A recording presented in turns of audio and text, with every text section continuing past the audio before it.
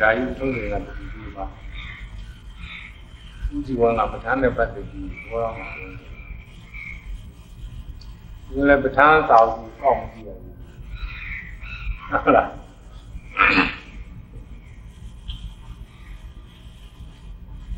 အဲတော့အမြင့်မြတော့ဒီလိုစထားမှာပေါ့ဗျာမဆုံးနိုင်တဲ့ပုံစံလိုပဲကြည့်မှာ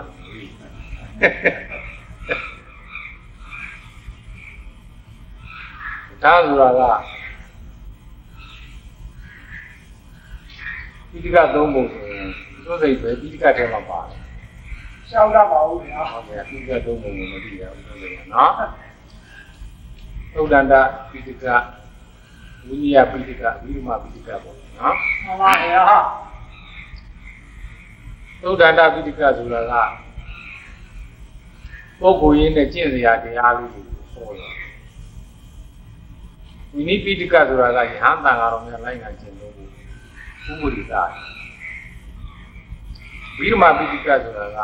ယုံနာလို့ရဲ့ဒီကအပြင်ဒီသုံးမျိုးအတိုင်းဖွဲ့မှနော်မှန်ပါဗျာသုတ်ဝိနည်းဝိဓမလို့ခေါ်လိုက်ရင်ဒီကတည်းကပြီးသွားတယ်နိကေဘယ်နှခုရှိကြလဲဆိုတော့ငါးခုလို့ကြားပါလားဗျာနိကေငါးခု နိကေငါးရက်နော်မှန်ပါဗျာနိကေ9ရက်ဒီကနိကေမိမနိကေနောက်ပြီးတော့ဗာလဲလို့ဆိုတယ်။တာယုတ်ဘုဒ္ဓဘုဒ္ဓကနော်မှန်ပါဗျာဒီကနိကေဆိုတာတုတ်အစီသားကြီးတွေတုတ်ပေါင်း30ကျော်ပေါ့ဒီကနိကေမိစီမနိကေဆိုတာကတုတ်အလက်စားတွေတုတ်150ကျော်လို့ရှိတယ်နော်မှန်ပါဗျာ သာဝတ္တနိကေတို့အကုက္ကရနိကေတို့ကြတော့များပါတယ်သုတ်တွေကထောင်ကျော်ကုန်နော်မှန်ပါဗျာခုရကနိကေကြတော့ဒီကဒီပုံများပါဘူးဆိုတော့အဲ့တော့နိကေအားဖြင့်900ခွဲလိုက်တယ်ဒီမှာပိဋကဘယ်နိကတဲ့ဘယ်နိကေထဲမှာပါတယ်ဆိုတယ်မကြည့်မလျှောက်တတ်ပါဘူးလျှောက်တာလေးပါဘုရားလျှောက်တတ်တာကောင်းပါလေဟုတ်လား နိကေအားဖြင့်ဆိုရင်ခုတ်ကနိကေဆိုတဲ့ပြင်စမမြောက်နိကေထဲမှာပါနိကေနံပါတ်အားဖြင့်ဆိုနော်မှန်ပါဗျာနိကေနံပါတ်သူစီနီယာပေါ့ဗျာဟုတ်လားဆိုရင်ဒီကနိကေကြီးကနံပါတ်1ပဲနော်အဲ့နောက်မှာမိစမနိကေနောက်သာယုဒ္ဓနိကေဘုဒ္ဓနိကေ သာယုဒ္ဓနိကေဆိုတာကပဋိစ္စသမုပ္ပါပြင်ပဋိစ္စသမုပ္ပါအကြောင်းကိုဆက်ပြီးပြောပါနော်မှန်ပါဗျာခန္ဓာ၅ပါးပြင်ခန္ဓာ၅ပါးအကြောင်းအာရဏပြင်အာရဏအကြောင်းစသည်ဆိုင်ရာတရားဓမ္မလေးတွေကိုခေါင်းစဉ်ပြုပြီးတော့ဟောဟောသွားတယ်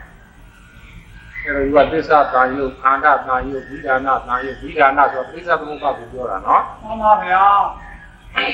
နာလာရဏတန်ယုတ်ဓာတုတန်ယုတ်စသည်တခါတရံကြတော့ပုံကိုယ်နာမည်ပါလာဒေဝတာမာယုနတ်ဒီကြောင့်ပြောနော်မှန်ပါဗျာ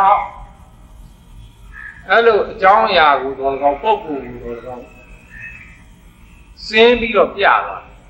ဒေဝတာကာယုဆိုရင်လည်းဘယ်နဲ့ဘယ်နဲ့နတ်ဒီအကြောင်းနတ်ဒီကိုဟောတဲ့တရားတွေပေါ့ဒါပေမဲ့လို့ အဲ့ဒီဒီလိုတန်ယုတ်ကတော်တော်လေးလေးလေးနဲ့နဲ့တရားဓမ္မတွေပါတယ်အင်္ဂုတ္တရနိကေဆိုတာကြတော့ဒီသူကဆက်တကြမ်းရှိတစ်ဟာဒီပါနော်မှန်ပါဗျာတခုဆိုတဲ့တရားတွေကိုလိုက်ဖောတာဒါအင်္ဂုတ္တရနှစ်ခုဆိုတဲ့တရားတွေကိုသူဆက်လာမှန်ပါဗျာ နှစ်ခုဆိုတဲ့တရားသုံးခုဆိုတဲ့တရားစသည်ဖြင့်အင်္ဂါ1 2 3 4 5 6 9 10 90 17ဒီဧကံဂုတ်္တရ၅ပါးသီလဆိုရင်ဘယ်ထက်ပါမလဲဆိုပေစင်ကုက္ကရပါဠိတော်တွေပါမယ်နော်မှန်ပါဗျာဒါမျိုးတွေအာရဏ6ပါးဆိုစလင်ကုက္ကရပါဠိတော်တွေမှာပါမယ်အဲ့လိုဟာမျိုးတွေကအင်္ဂါကိုဥစားပြီးပြီးတော့ဟောသွားတယ်နိကေကိုအင်္ဂုတ်ကနိကေသူ အဲ့ဒီနိကေ၄ရက်ကပိုးလာတာလေနောက်ပိုက်စုကဆောင်းရတာဘူးပြဟိုသံဃာနာနဲ့ယဟန်တန်ဃာတော်များရှိကတော့ယဟန်တော်တွေကိုပွဲထားလိုက်တယ်ဒီကိုတော်ကဒီကပါဏကအခုပြည့်လည်းပိဋကသုံးပုံပြန်နေရှိပါတယ်နော်မှန်ပါဗျာဒီကိုတော်ကဒီကဘာနကဒီကိုတော်ကမစ္စည်းမဘာနကဒီကိုတော်ကသံယုတ်တဘာနကဒီကိုတော်ကအင်္ဂုတ္တရဘာနကဒီကိုတော်ကကုဋ္ဌရဘာနကအစသည်ဖြင့် ကိုယ်ဆိုင်ရာဆိုင်ရာတောင်းပေးပြီးတော့ခွဲခြားရုပ်စုမှတ်သားနေထားကြတယ်အာကုန်ကြက်ထားကြတယ်နော်အဲ့ဒါလို့ဆောင်းထားရတာကြည့်တဲ့အတွက်နောက်ဆုံးမိကေ၄ရက်သူ့နာမည်နဲ့သူအတိအကျရှိတဲ့မိကေ၄ရက်ပေါ့အဲ့ဒီကနေပိုးလာတာကြလို့ကွာခုတ်တကမိကေဆိုပြီးတော့ နာမည်ပေးလိုက်ခုတ်တကဆိုတာအသေးအမွားပေါ့ပြောတယ်မှန်ပါဗျာဒီကကြတော့သုတ်စီကြီးမေစီမကြတော့သုတ်အနာစားတယ်။မာယုတ်တကြတော့သူရသူရတရားတွေကိုရှင်းပြနာယုတ်တဆိုရှင်းလဲဆိုလို့ပြောတယ်နော်မှန်ပါဗျာ။အင်္ဂုပ္ပရကြတော့အင်္ဂါလေးတွေကိုကြောကြောကြောကြောပြီးအင်္ဂုပ္ပရတစ်ချင်းစီတက်သွားတယ်ဆိုတဲ့အဓိပ္ပာယ်။ ဟုတ်လားမှန်ပါဗျာ။အင်္ဂဥဒ္ဒရအင်္ဂဆိုတာကအင်္ဂါနှစ်အင်္ဂါသုံးအင်္ဂါစသဖြင့်တစ်တဲ့နှစ်ကကြောပြီးနှစ်တဲ့သုံးကကြောပြီးဆိုပြီးတော့အင်္ဂါကြောကြောကြောကြောပြီးတော့တခုစီကြောပြီးကြောပြီးတော့ဟောသွားတယ်။အင်္ဂုတ္တရနိကေဘယ်လိုဆိုရင်နားလည်ပါလိမ့်မယ်ဟုတ်လားမှန်ပါဗျာ။ခုတ်တကကြတော့ခုတ်တကဆိုပြီးမှငယ်တယ်သေးတယ်လို့အဓိပ္ပာယ်ရ မှန်ပါဗျာ။ငယ်သေးတယ်လို့အဓိပ္ပာယ်ရတယ်။ခုတ်တကနိကေထဲမှာထည့်ထားတဲ့အာရီကငယ်တာသေးတာတွေကိုအကြီးကြီးတွေဖြစ်နေလို့ပြောတယ်။အဘိဓမ္မာပိဋကဆိုတော့သေးရောမလားဦးဆုံးနေအကြီးကြီးဖြစ်သွားပြီနော်။ဖြစ်ပါဗျာစာအုပ်တွေအများကြီးရှိတယ်အဲဒီပိဋကဝိနည်းပိဋကပါသွားတယ်အဲ့ဒီထဲ ဝိနည်း၅ကျမ်းပြီးမှ9ကျမ်းခုတ်တကနိကေထဲမှာပါတာနော်မှန်ပါဗျာနောက်ပြီးတော့သုတ်တန်တပိဋကတွေကဘယ်ကျမ်းတွေပါလာလဲဆိုတော့ခုတ်တကပါဠတွေဓမ္မပဒတွေဥဒါနာတွေဣတိဝိဒကတွေသုတ်တနိပတ်တွေဆိုတဲ့ကျမ်းတွေပါလာတယ်အဲ့တော့ခုတ်တကနိကေထဲမှာသုတ်တန်တပိဋကကကျမ်းတွေလည်းပါတယ် ဝိနည်းပိဋကတစ်ခုလုံးနဲ့ပြီးတော့ပိဋကတစ်ခုလုံးပိဋကနှစ်ခုနဲ့သုတ်တံပိဋကကအချို့သောကျမ်းများကိုပေါင်းထားတာကိုဗာဏိကေလို့ခေါ်တယ်ခေါ်တယ်ခုတ်တကနိကေလို့ခေါ်တယ်မှန်ပါဗျာခုတ်တကနိကာယ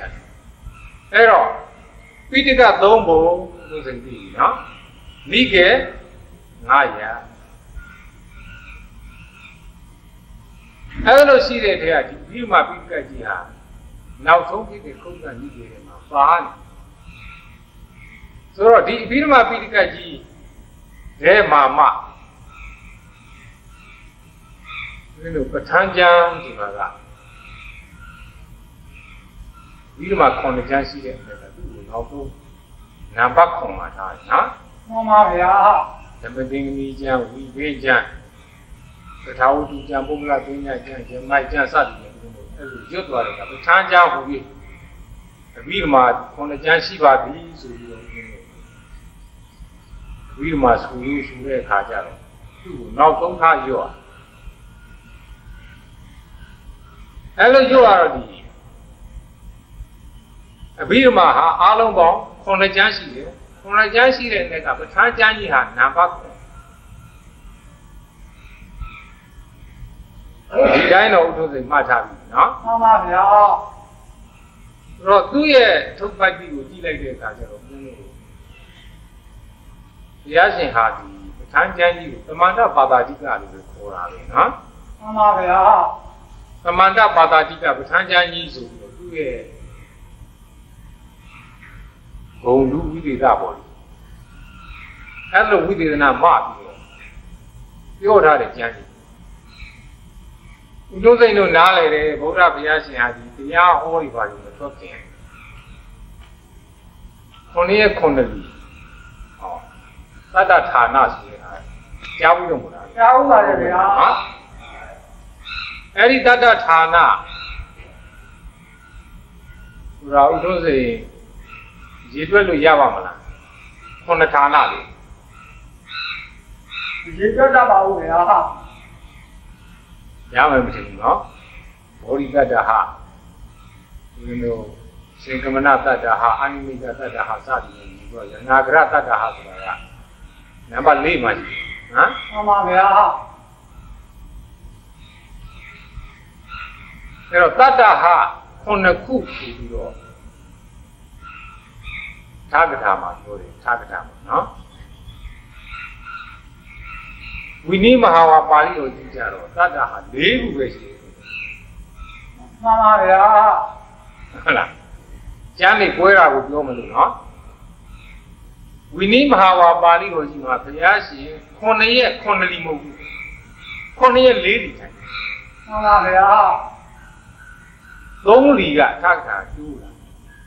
အဲ့ဒီတိုးထားတဲ့သုံးလီထဲမှာယရနာဂရတတ္တဟာ ဘုရားရှင်ဆွေအိမ်တော်မှာထိုင်ပြီးတော့ခုနှစ်ရက်ထိုင်ရတယ်နော်မှန်ပါဗျာခုနှစ်ရက်ထိုင်ပြီးပဋ္ဌာန်းကျမ်းကြီးကိုစဉ်းစားတယ်လို့ဆိုတဲ့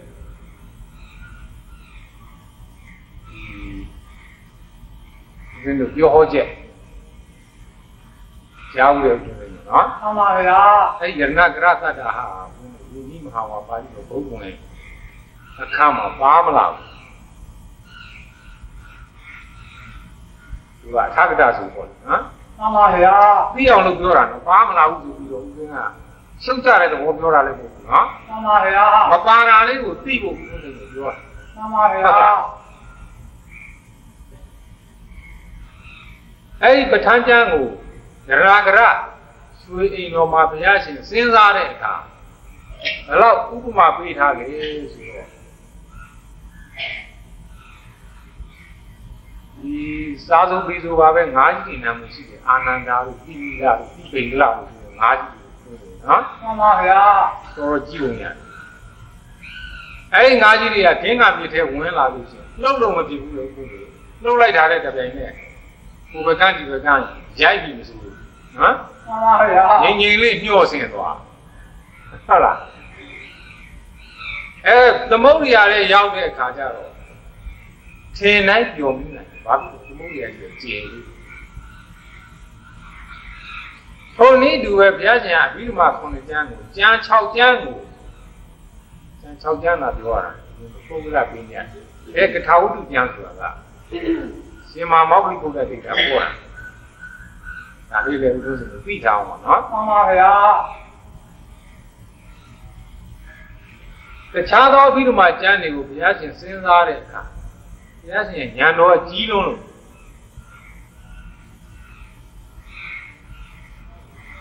သိပြီးတော့မလူးနိုင်မလွတ်နိုင်ဘူးပေါ့နော်မှန်ပါဗျာအလွယ်လေးနဲ့သိပြီးနေတော့ပဋ္ဌာန်းကျမ်းကြီးရောက်လာတဲ့အခါကျတော့ပျော်ခြင်းနိုင်ပျော်မြူးခြင်းနိုင်ပြီးဘုရားရှင်ဉာဏ်ကျက်စားဖို့အတွက်အလွန်ကျယ်တဲ့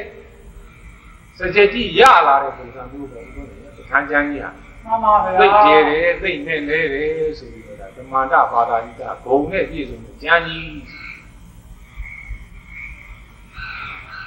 အဲ့ဒီတိုင်းပဲသူ့ကိုတင်စားလိုက်တာနော်ဒါဒါပဋ္ဌာန်းကျမ်းဆိုပြီးသူစိတ်ကိုညွတ်နေကြတယ်ခါအဲ့တော့သူ့မှာဘာတွေပါသလဲလို့ဆိုတော့အကြောင်းပြုပြတာအဲ့ဒီအကြောင်းပြုတော့နောက်တစ်ပတ်ကျမှဆက်ရအောင်နော်မှန်ပါဗျာ အဲ့တော့သောသောကပြောသလိုပဋ္ဌာန်းကျမ်းဟာဘယ်ပိဋကတ်ထဲမှာပါတယ်ဆိုတာဥဒ္ဒစိတ်သိပြီလေဝိဓမပိဋကတ်ထဲမှာပါတယ်နော်မှန်ပါဗျာဝိဓမပိဋကတ်ထဲမှာပါတယ်ပါတော့ဒီဒီလိုပတ်ဝိဓမပိဋကတ်နဲ့ပတ်သက်ပြီးတော့အထပါဠိနီးဆိုတဲ့ထာဂထာကြီးမှာရှင်ဘုဒ္ဓဂောသရေးထားတဲ့ဟာလေး ရှင်ဗုဒ္ဓဂောသရေးထားတာကရှင်ဗုဒ္ဓဂောသဆိုတာကမင်းတို့ဗမာရီယူဆတာကတော့ထုံငါကူတော်လို့ပြောတာပဲနော်တကယ်သမိုင်းအချက်အလက်နဲ့လိုက်တဲ့အခါကျတော့အိန္ဒိယမြောက်ပိုင်းကပေါ့နော်မှန်ပါဗျာပါတိပုဂ္ဂိုလ်ကတော့အဲ့ဒီလေကကူတော့သူကဗြဟ္မဏဘာသာကနေပြီးတော့ ဘုရားဘာသာနဲ့ရောက်ရှိခိတ္တကြီးသမထလုပ်ငန်းနဲ့ပတ်သက်ပြီးဘုရားဘာသာကြီးမှာလေတော်လေးကျွမ်းကျွမ်းကြည့်နေရှိခဲ့ကြတယ်ဟုတ်လားမှန်ပါဗျာသမထဆိုတာငြိမ့်နေပုံစံနဲ့နော်မှန်ပါဗျာငြိမ့်နေဆိုတာခိတ္တခိုင်းနေတဲ့အချိန်ငြိမ့်တာကိုပြောတာနော်လို့လေသဘောပေါက်ဖို့လား မှန်ပါဗျာထိုင်နေတဲ့အချိန်မှာသမထရဲ့အရာကဘယ်လောက်ရှိသလဲဆိုတာဘုရားသိနေပြီဘူးကသာတန်ရောစဉ်သမီးတန်ရောစဉ်ကုန်နေ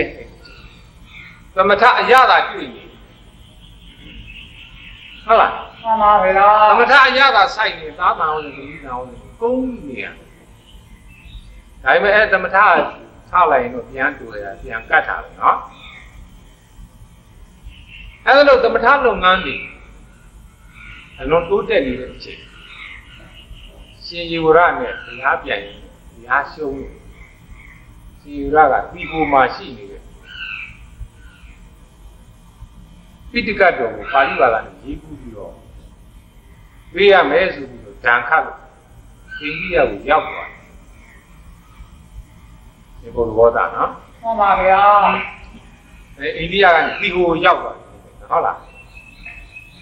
အဲ့တော့ဒီဟိုကိုရောက်သွားတော့ဒီဟိုမှာလဲပဲအဗျာဂိရိဝါဒီဇေတဝနာဝါဒီမဟာဝိဟာရဝါဒီစသည်ဖြင့်တော်တော်ထင်ရှားတဲ့ဂိုင်းကြီးကိုယ်ဦးဇင်းတို့မြန်မာနိုင်ငံကအပြီးမှပြီးတာတော့မဟာဝိဟာရဝါဒီကိုပဲအပြီးမှပြီးတယ်ပြည်ရဟန်းတော်ကြီးအာယံခေါ်တာပေါ့လေနော်မှန်ပါဗျာအဲ့ဒီဟန်းတော်ကြီးဒီကိုရောက်တော့ကတော့ ဆိုရင်အဗျာကြီးဝါဒီဂိုင်းနဲ့တော်တော်ကြီးကြီးပွားပွားရှိနေလို့လေဒီမှတ်တမ်းထဲမှာအဲ့ဒီကိုရောက်သွားတဲ့အခါကျတော့မူကအဗျာကြီးဝါဒီဂိုင်းမှာရောက်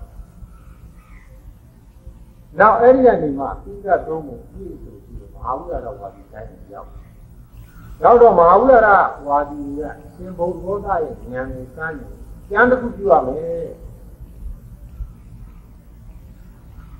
ဒါကဘုရားဘုရားသုတ်ပတ်ကြည့်ဆိုပါတော့ဆုံးနေဟုတ်လားမှန်ပါဗျာ။ကျမ်းတစ်ကောင်ရေးရမယ်သူ့ရဲ့ဒီအချင်းစမ်းတတ်တာပေါ့။အင်တာဗျူးလုပ်တယ်ပေါ့ဒီကိစ္စ။ဆိုတော့သူ့ကိုဒီအချင်းစမ်းတတ်တဲ့အနေနဲ့ရေးဒီစာမှုပဲအလုပ်ခိုင်းတယ်။အဲဒီလိုလုပ်ခိုင်းတော့ဒီဘုရားကဘာကိုရေးချလိုက်လဲဆိုဒီတုတ်ဒီမဲ့ ကျမ်းကြီးဒီဘုရားရေးတယ်ဟမ်မှန်ပါဗျာဤလေပိဋ္ဌာယနရောသဗ္ဗညောစိတ်ကံသူမြတ်ကဘာဝေအာတာပိဒီကောပိသတိဒီလိုဒီမဲ့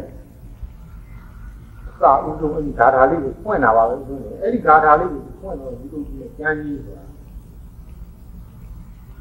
ဒီလိုမြန်မာနိုင်ငံမှာ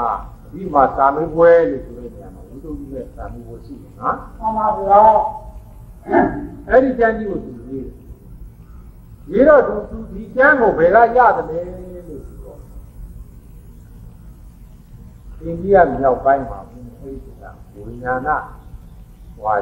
ယောဂသာရဘူမိဂိုင်းဆိုတာရှင်အပံကနေရှင်ဝိပါဏိကိုညီတော့နော်မှန်ပါဗျာမြောက်ပိုင်းမြောက်ပိုင်းဂိုင်း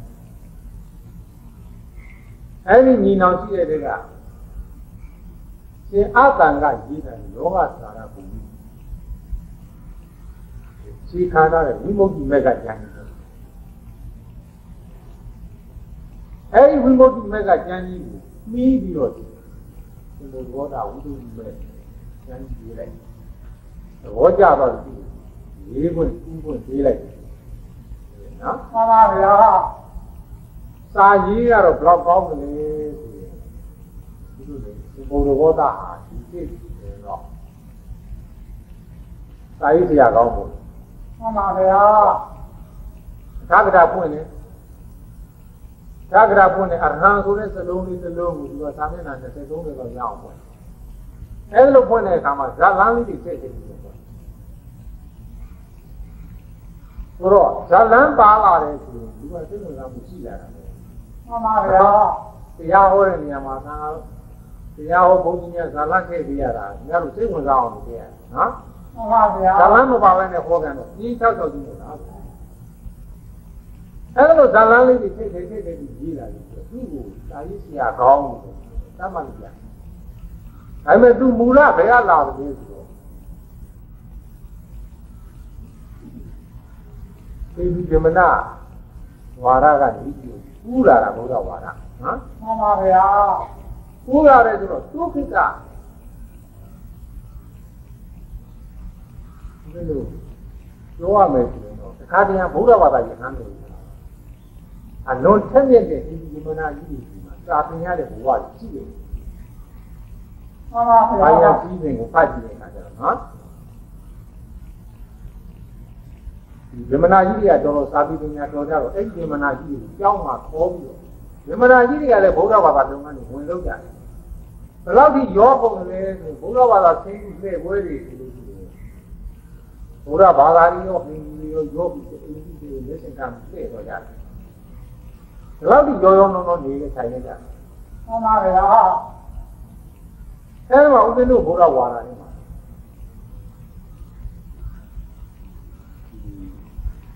ပြောရမယ်ဆိုရင်တော့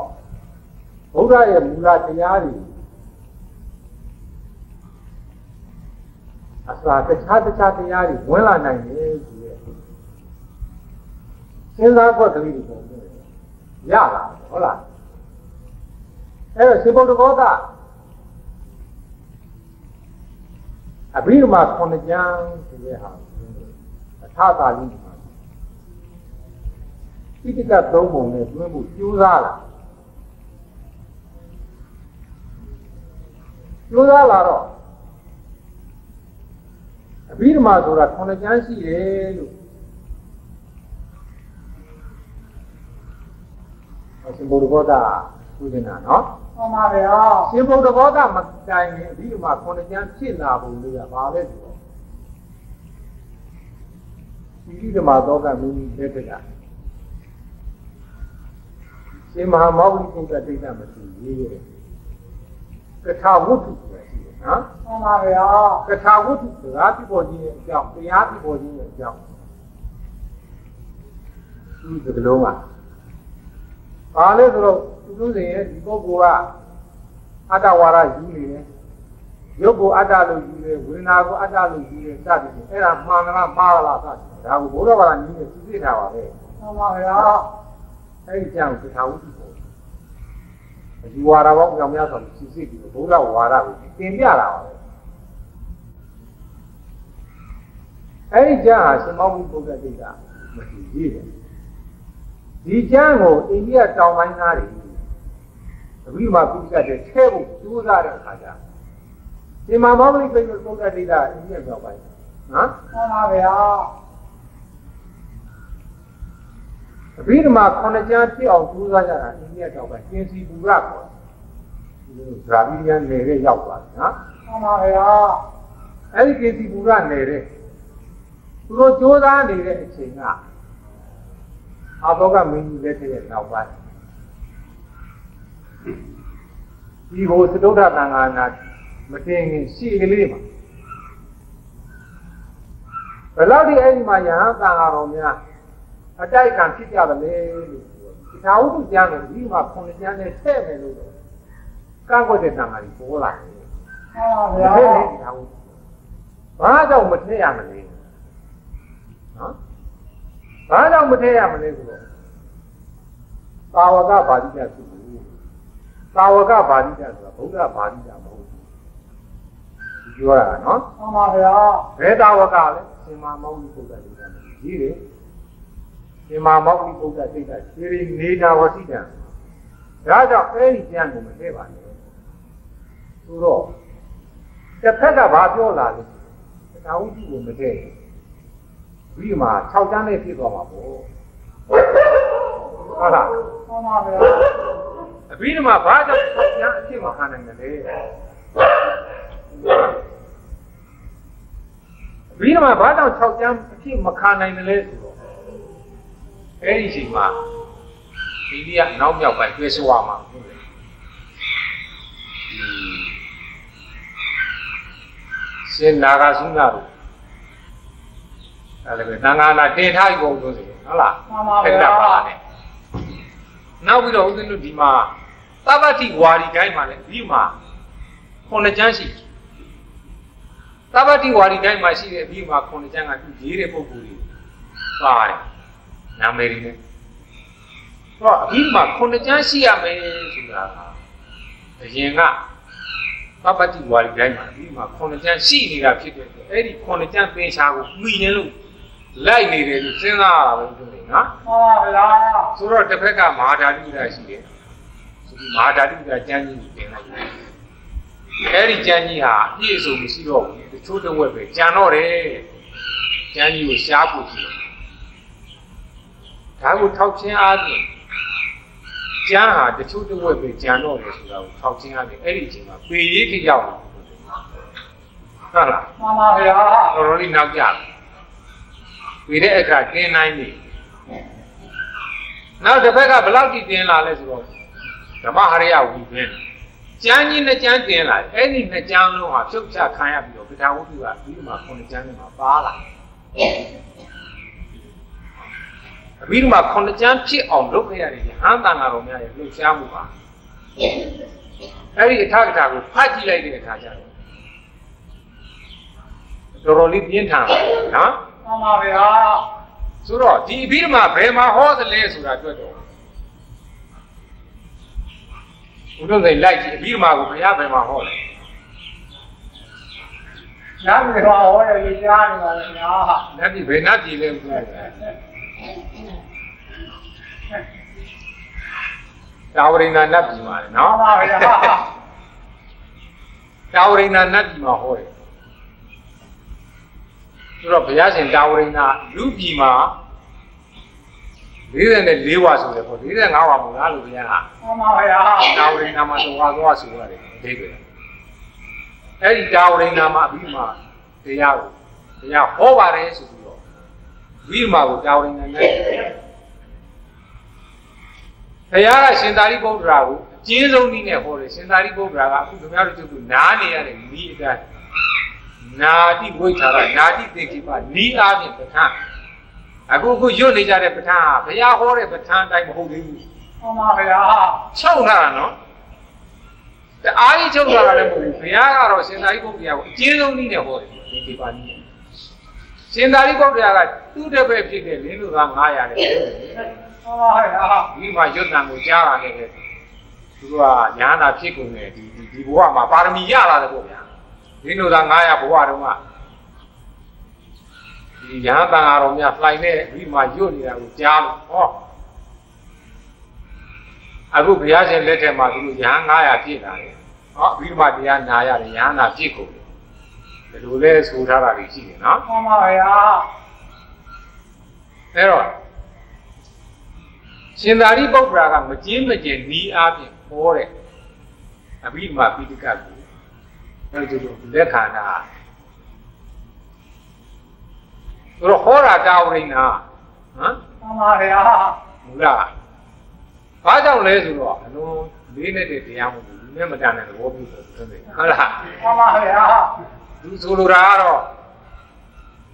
ဘယ်တော့ဖြစ်ဘူးသောပါဠိပိတနတ်တာသူကတုပိတနတ်တယ် တရားတာဝိနာတက်တယ်ဟိုကဣတိဒါနေတာဝိနာဆင်းလာဘယ်တော့လာနာဒီသဘောတိုင်းတော့အပြီးမှခုနှစ်ချမ်းဖြစ်လာအောင်စဉ်း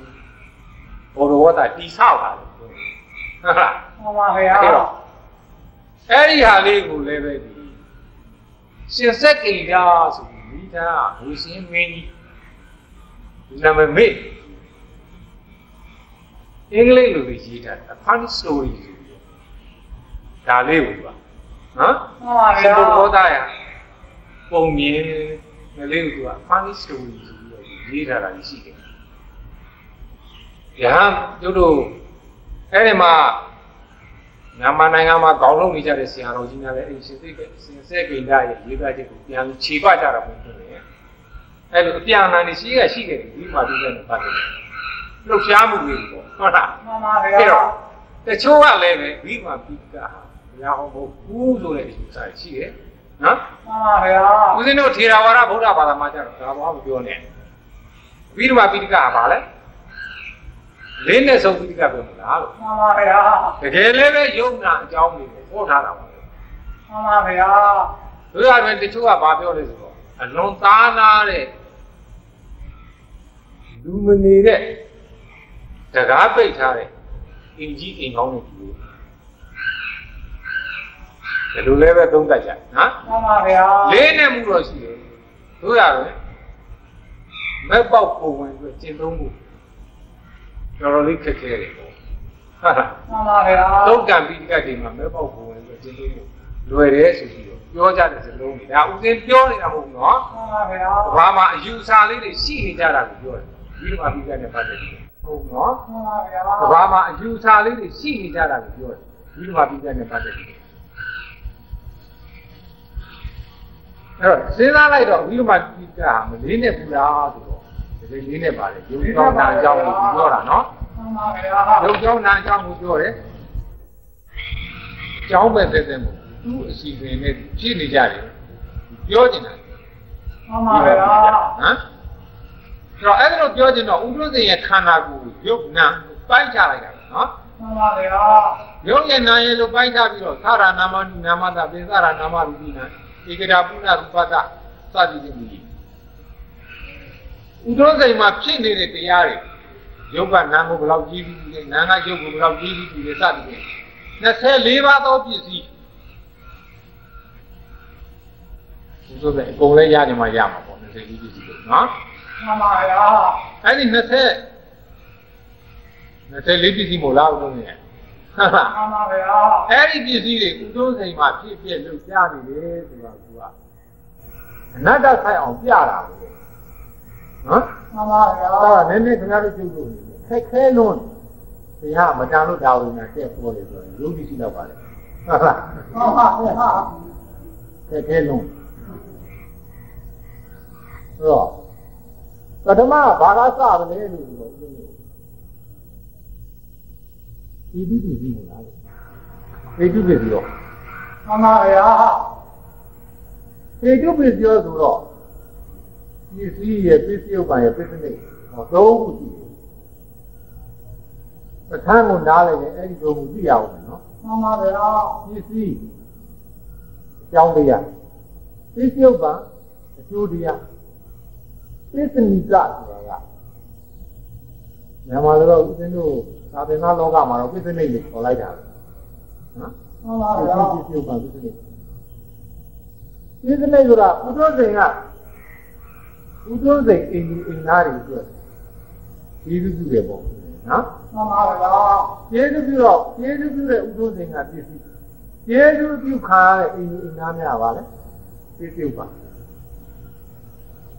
တခြားပုဂ္ဂိုလ်တွေကိုဥဒုစိတ်ကကျေးဇူးမပြု ဥဒုစိတ်ကျေးဇူးအပြုမခံရတဲ့ပုဂ္ဂိုလ်တွေကပစ္စနိဟာဘုရားနော်မှန်ပါဗျာဘုရားရှင်ရဲ့ကျေးဇူးပြုမှုကိုခံရတာကပြည့်စုံပါကျေးဇူးပြုကိုမခံရတဲ့တရားတွေရှိသေးတယ်ပေါ့အဘိဓမ္မာကြီးကဥဒ္ဒရဲ့ယုံနာပြည့်စုံနေမှာနော်မှန်ပါဗျာအဲ့ဒါတွေကဘာလဲပြည့်စုံနေဒီအလုံးလေးတွေရှိတယ်နော်မှန်ပါဗျာဆိုတော့ပထမသေတုပစ္စည်းဆိုပြီးစိတ်ပဲတစ်ပါးရှိတယ် 6ပါးပါဗျာအမှန်တော့ရပြီဟုတ်လားစိတ်၆ပါးရှိတခါကျရင်တရားကြတော့အဲ့ဒီစိတ်ကိုကိုးပါးဒီကောက်ရှိတယ်ဒီလိုမှာနော်မှန်ပါဗျာကုသိုလ်ဟိတ်၃ပါးအကုသိုလ်ဟိတ်၃ပါးဗျာဒကဟိတ်၃ပါးဒီဟိတ်၉ပါးတော့တယ်မာတော့ဟိတ်၆ပါးတယ်ပါဆိုတော့ဥဒ္ဒစိန်မှာအဓိကကျေးဇူးပြုနေတာအကုသိုလ်လုပ်လို့ကုသိုလ်လုပ်လို့နော် မှန်ပါဗျာ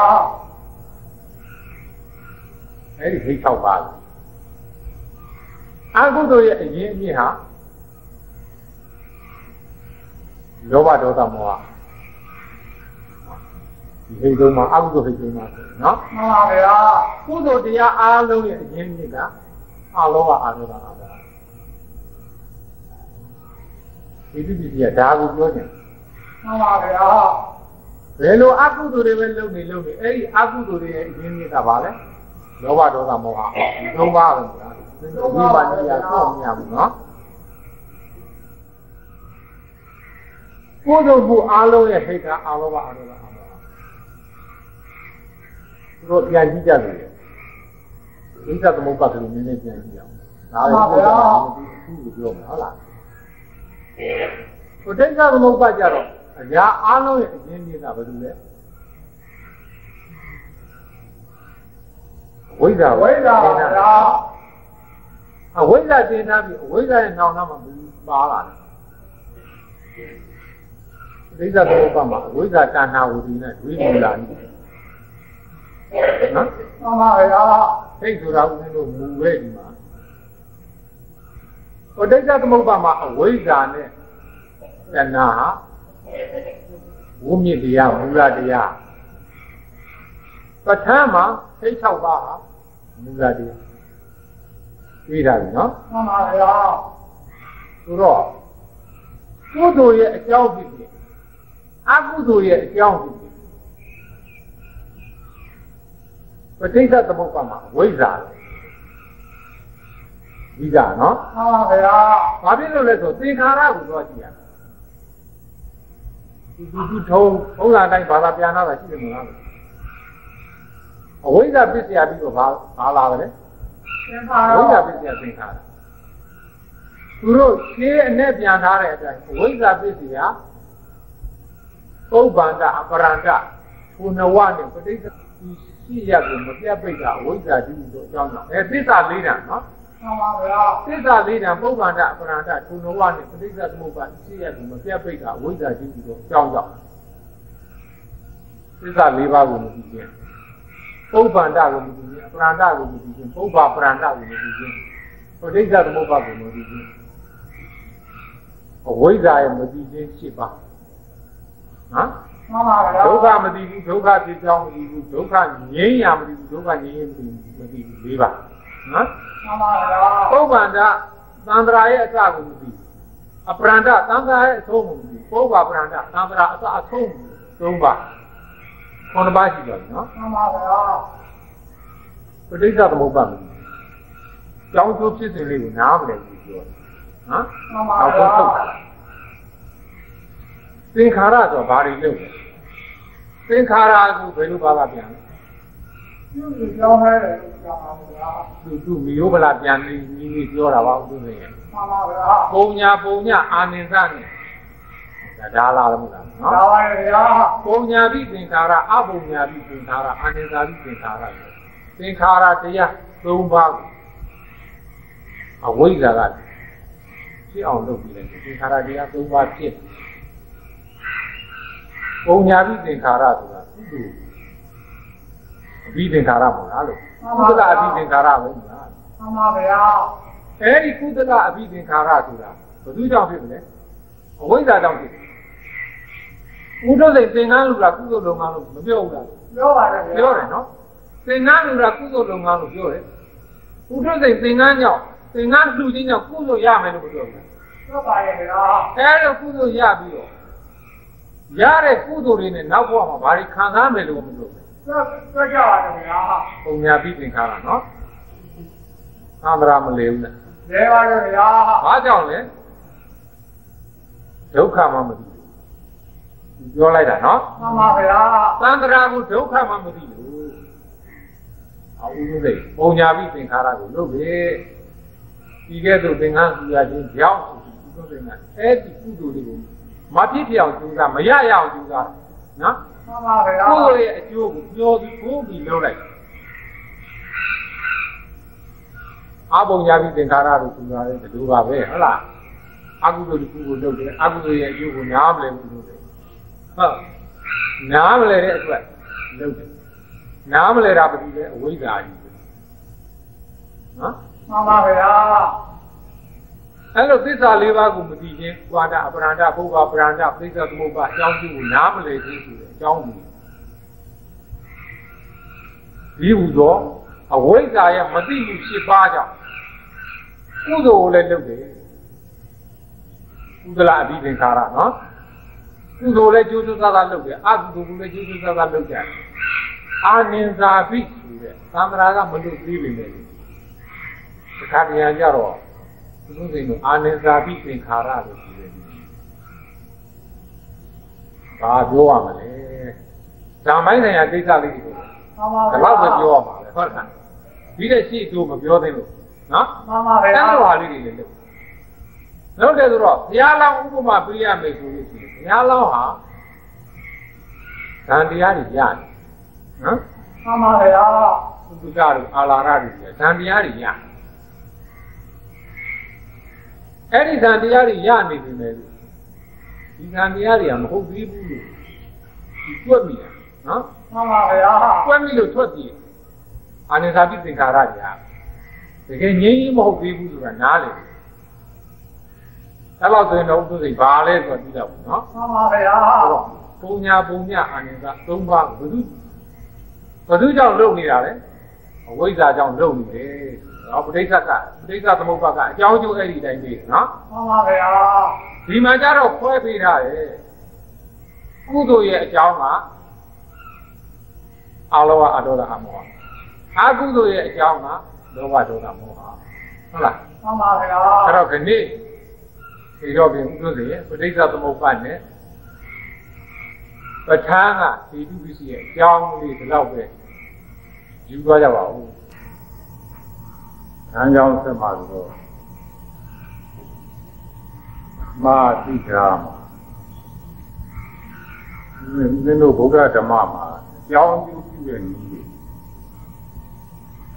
ဉာဏ်ဘက်ကလည်းပြောခဲ့ပါပြီနော်မှန်ပါဗျာသုံးမျိုးရှိတယ်ဗောဟုတ်လားမှန်ပါဗျာသုံးမျိုးရှိတယ်ဆိုတာသစ္စာနီးအဲဒါသစ္စာနီးတဲ့တစ်မျိုးပဋိစ္စသမုပ္ပါနီးတဲ့တစ်မျိုး ပဋ္ဌာန်းနီးတဲ့တစ်မျိုးမှန်ပါဗျာသစ္စာနီးဆိုတာကသမုဒယနဲ့ဒုက္ခနော်နောက်ပြီးတော့မဂ္ဂနဲ့និရောဓအဲလိုအကြောင်းပြုပြီးသွားတယ်ပဋိစ္စသမုပ္ပါနီးကြတယ်သဗ္ဗဝိဘာဝကာရောပမှာတော်တယ်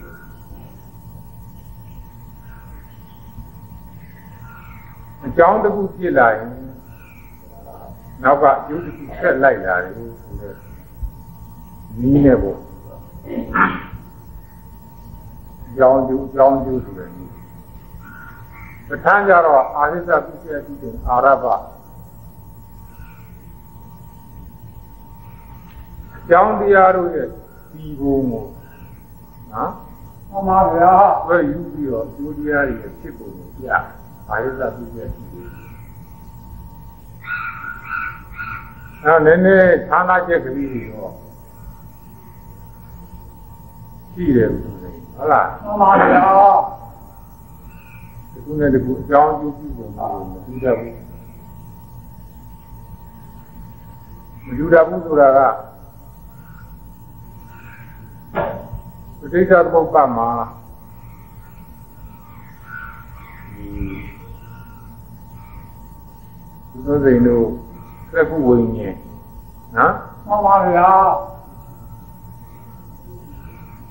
သက္ကုဝိညာဉ်ဆိုတဲ့တရားစပြီးပေါ့လေဆိုတဲ့ဝိညာဉ်ဘယ်နှပါးရှိမလဲမှန်ပါဗျာဟုတ်လားအဲ့ဒီဝိညာဉ်ရဲ့အကြောင်းကဘယ်လိုလဲဝိဇ္ဇပိစ္ဆယသင်္ခါရသင်္ခါရပိစ္ဆယဝိညာဏ သင်္ခါရသွားလိုက်ရင်နော်မှန်ပါဗျာသင်္ခါရသွားလိုက်တော့သင်္ခါရဆိုတာဘာလဲဆိုတော့သာသင်္ခါရဝစီသင်္ခါရတော့နောင်နာကတော့ဥပ္ပနေမနောသင်္ခါရလို့ခေါ်ပေါ်စိတ်ဓာတ်သင်္ခါရလို့ခေါ်ပေါ်ပေါ့နော်မှန်ပါဗျာဒီမိုက်ကြတော့စိတ်ဓာတ်သင်္ခါရလို့လုံးမယ်အဲတော့သင်္ခါရကြောင့်ဝိညာဉ်ဖြစ်တယ် ဝိနုပဋ္ဌာန်းကြတော့သက္ကုဝုတုသက္ကုဝိညာဏဓာတိယာဆိုပြီးတော့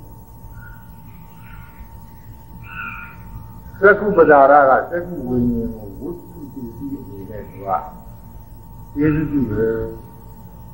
သက္ကုဝိညာဉ်ကိုကျေးဇူးပြုတယ်ပြုဖို့ကိုပြောထားတယ်နော်မှန်ပါဗျာတခြားလည်းပဲဌာနချက်တွေနည်းနည်းပါးပါးရှိတယ်ဒါပေမဲ့လို့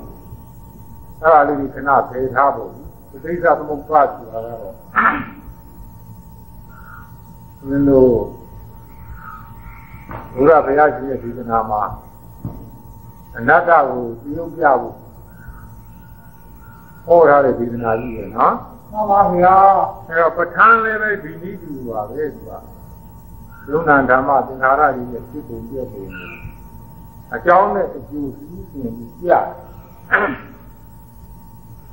ပြတာတော့ဘိတုပစ္စည်းအပြင်ကျေးဇူးပြုတယ်အာရမဏပစ္စည်းအပြင်ကျေးဇူးပြုတယ်အဓိပ္ပစ္စည်းအပြင်ကျေးဇူးပြုတယ်နဲ့သူကတဲ့တရားနဲ့ကျေးဇူးအပြုခံရတဲ့တရားတွေကိုတွဲတွဲတွဲတွဲပြီးပြီးသွားတယ်နော်မှန်ပါဗျာ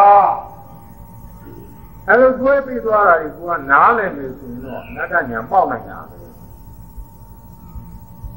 လူစိတ်တို့နားလည်ဖို့လည်းခက်တယ်နော်ဆက်ပါလေဗျာသင်္ကာပဋိသသမုပ္ပါဒ်မလွယ်ဘူးဟမ်မှန် ပါဗျာဘာဖြစ်လို့လဲဆိုတော့ကောက်ရတဲ့တရားဘူတွေကလည်းအများကြီးအဲ့တော့ဒီထဲကနေပြီးဦးလို့သိရမှာဘာလဲလို့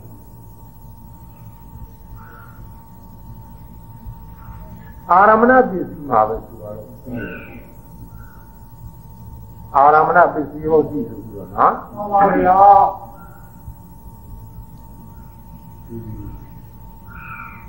ကုသိုလ်တရားကနေအကုသိုလ်တရားကိုအာရမဏပစ္စည်းကိုပြီးပြီးပြီးတယ်။သူရဲ့အခန်းလေးတွေကုသိုလ်ကကုသိုလ်ကိုအာရမဏပစ္စည်းအနေနဲ့ပြီးပြီးပြီးတယ်။ကုသိုလ်ကအကုသိုလ်ကိုအာရမဏပစ္စည်းအနေနဲ့ပြီးပြီးပြီးတယ်လို့ဆိုတဲ့အခန်းလေးကိုသိတယ်ဆိုတယ်။ဘာလဲဆိုတော့ဒီဒါနံတတ္တဝါသီလံသမာဓိစိတ်တဝါဥပောဒနာသမ္မာကတ္တဝါ တံအတ္တာဒေတိအဘိနန္တတိတံအာရဘရာဂောဥပ္ပဒတိဒိဋ္ဌိဥပ္ပဒတိဒေါမနနာဥပ္ပဒတိစသည်ပဋ္ဌာန်းဒေသနာမှာပေါ့အာရမဏပစ္စည်းမှာဟောထားတာအဲ့ဒါလေးကိုပြီးလို့ချင်းသူစိတ်လို့ဘုရားဘာသာတရားအနေနဲ့နေရာကျူးငတ်တာပေါ့ဟုတ်လားမှန်ပါဗျာသူကဘာပြောတာလဲဆိုတော့ ဒါနံတတ္တဝါသီလံသမာဓိစိတ်တဝါဥပောဒထသမ္မာတတ္တဝါဒါနယူရပြီးတော့သီလဆောက်ပြီးတော့အနည်းတူဥပုပ်သတင်းကျင့်သုံးပြီးတော့နော်မှန်ပါဗျာတံအတ္တာဒီဒီဒီနံတတိလူရဲ့ပုံမှာသာယာသွားသီလအပေါ်မှာလည်းသာယာသွားမယ်ဟုတ်လားမှန်ပါဗျာ ငါကနေ့ဥပုသ်ဆောင်ပါလားဆိုပြီးတော့ဥပုသ်ဆောင်တာနဲ့ပတ်သက်လို့ตายရတဲ့စိတ်ရှိအဲ့ဒါတန်အာရဘရာဂောဥပ္ပဒိနော် မှန်ပါဗျာ အတ္တာဒိဋ္ဌိဝိနန္တတိပေါ်တယ်အတ္တာဒိဋ္ဌိตายရဝိနန္တတိအလွန်နှိမ့်တဲ့တန်ထိုဒါနသီလ ဥပောဒကကာမအစရှိသူကိုအာရဘအကြောင်းပြုရာဂောရာဂတိဥပ္ပဒိတိဒိဋ္ဌိဒိဋ္ဌိဥပ္ပဒိတိ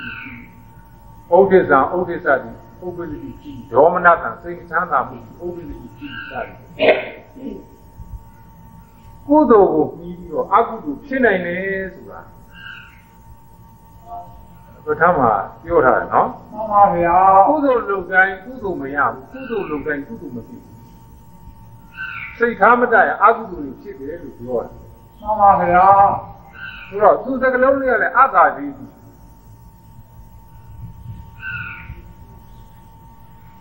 ဒါနနဲ့ပတ်သက်ပြီးဝါမြောက်ကြပါလို့ပြောရမှာတော့ကြောက်ကြရကောင်းပါနော်မှန်ပါဗျာဝါမြောက်တာရိုးရိုးကုသိုလ်သောမနာတာမဟုတ်ဘဲနဲ့ ကိုယ်ကုသိုလ်နဲ့ပတ်သက်ပြီးတော့သာယာရဖို့ပြုနေဟုတ်လားမှန်ပါဗျာဒါနလုပ်ရရတာလေးနဲ့ပတ်သက်ပြီးတော့ငါဒါနလုပ်နိုင်တယ်ဆိုတဲ့ဟာလေးကလည်းရှိသေးတာကိုမှန်ပါဗျာဒီသီလသမာဓိရိတ်တော်သီလကိုဆောက်ပြီးတော့ငါသူများတဲ့သားတယ်ငါသီလဆောက်ပြီးနိုင်တယ်ငါဥပုပ်စောင့်နိုင်တယ်ဆိုတဲ့ဟာလေး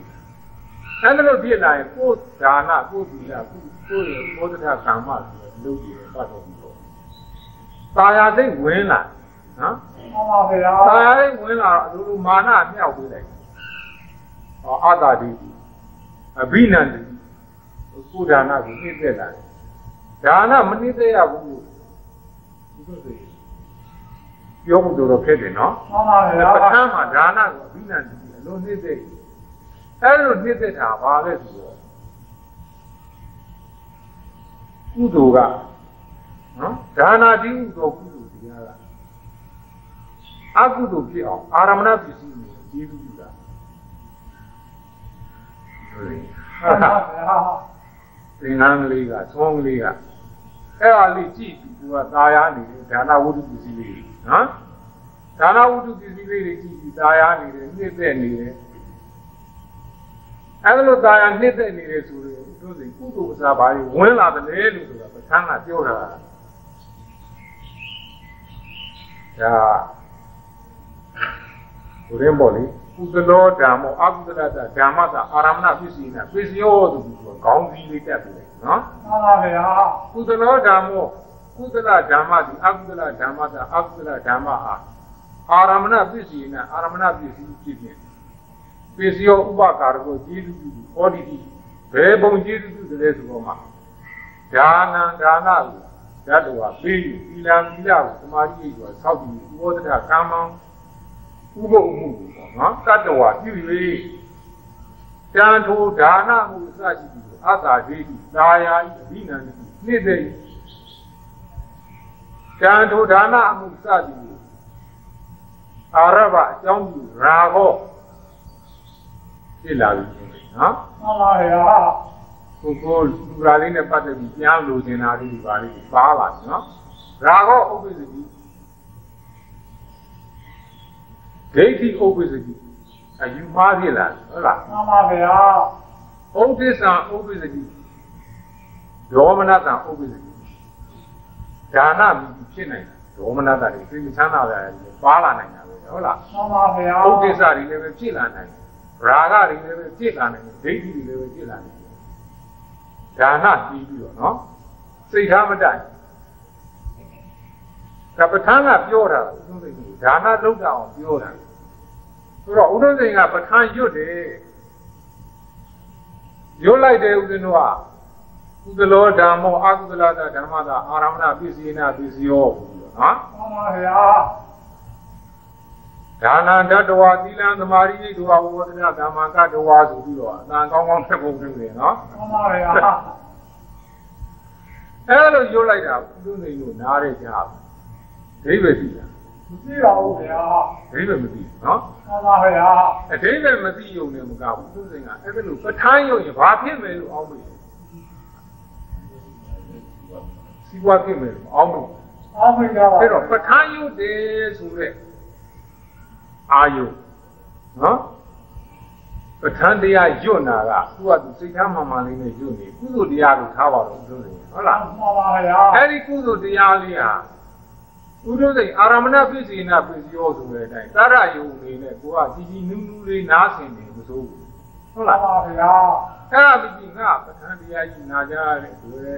ဒါမှမဟုတ်ငါပဋ္ဌာန်းယူရတယ်ဆိုရဲ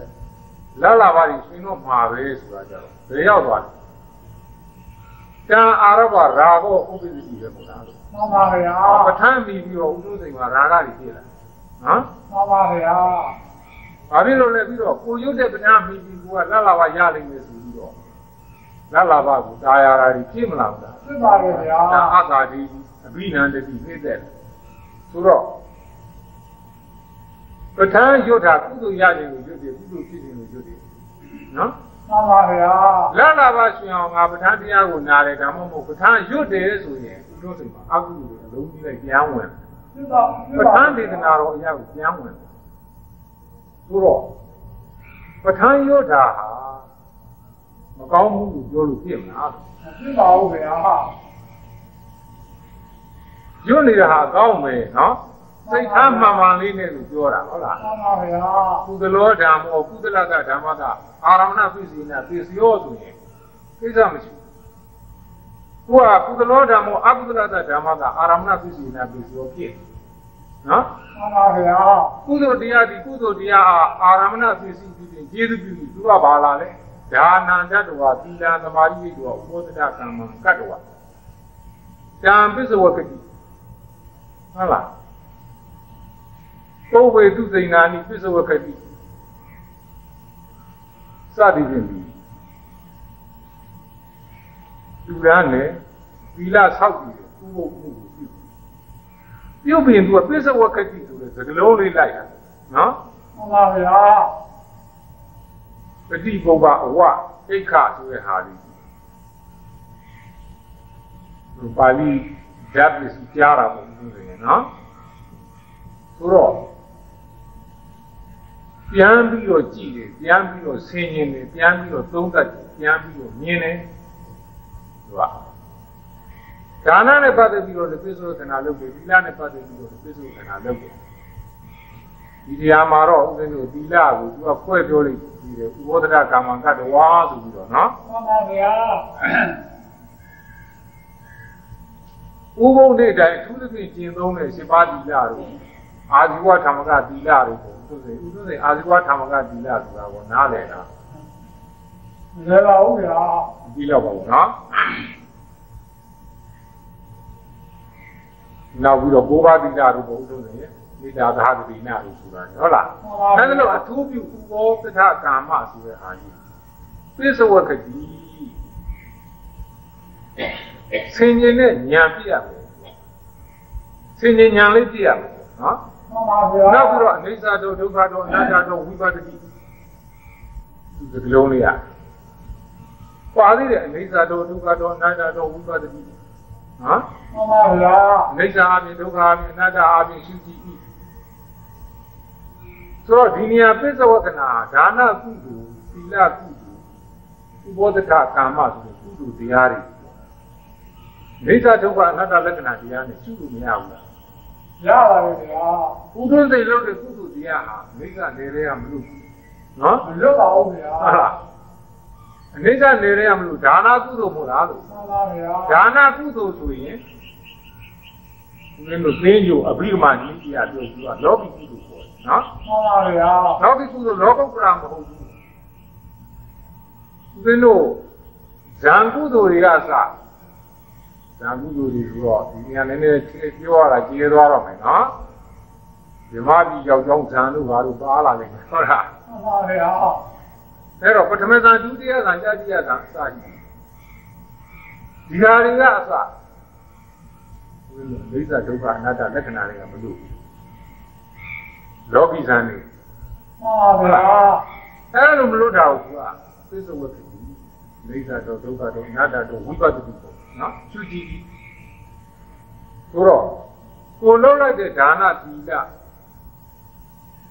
ဘောဓကကာမဇံကိစ္စ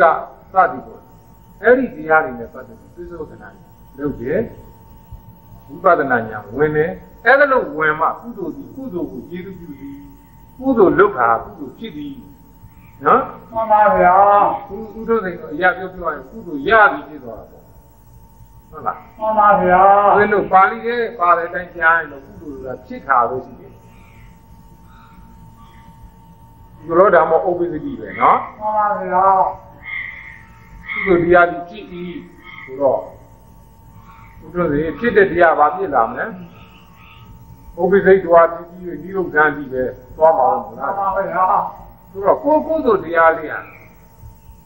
ဒါနလုပ်လိုက်တဲ့ကုသိုလ်တရားကြီးဒါနဝတ္ထုပစ္စည်းကြီးလိုက်ပါဦး သင်္ကန်းဆိုတဲ့တရားလေးဟုတ်လားသင်္ကန်းဆိုတဲ့ဝတ္ထုပစ္စည်းလေး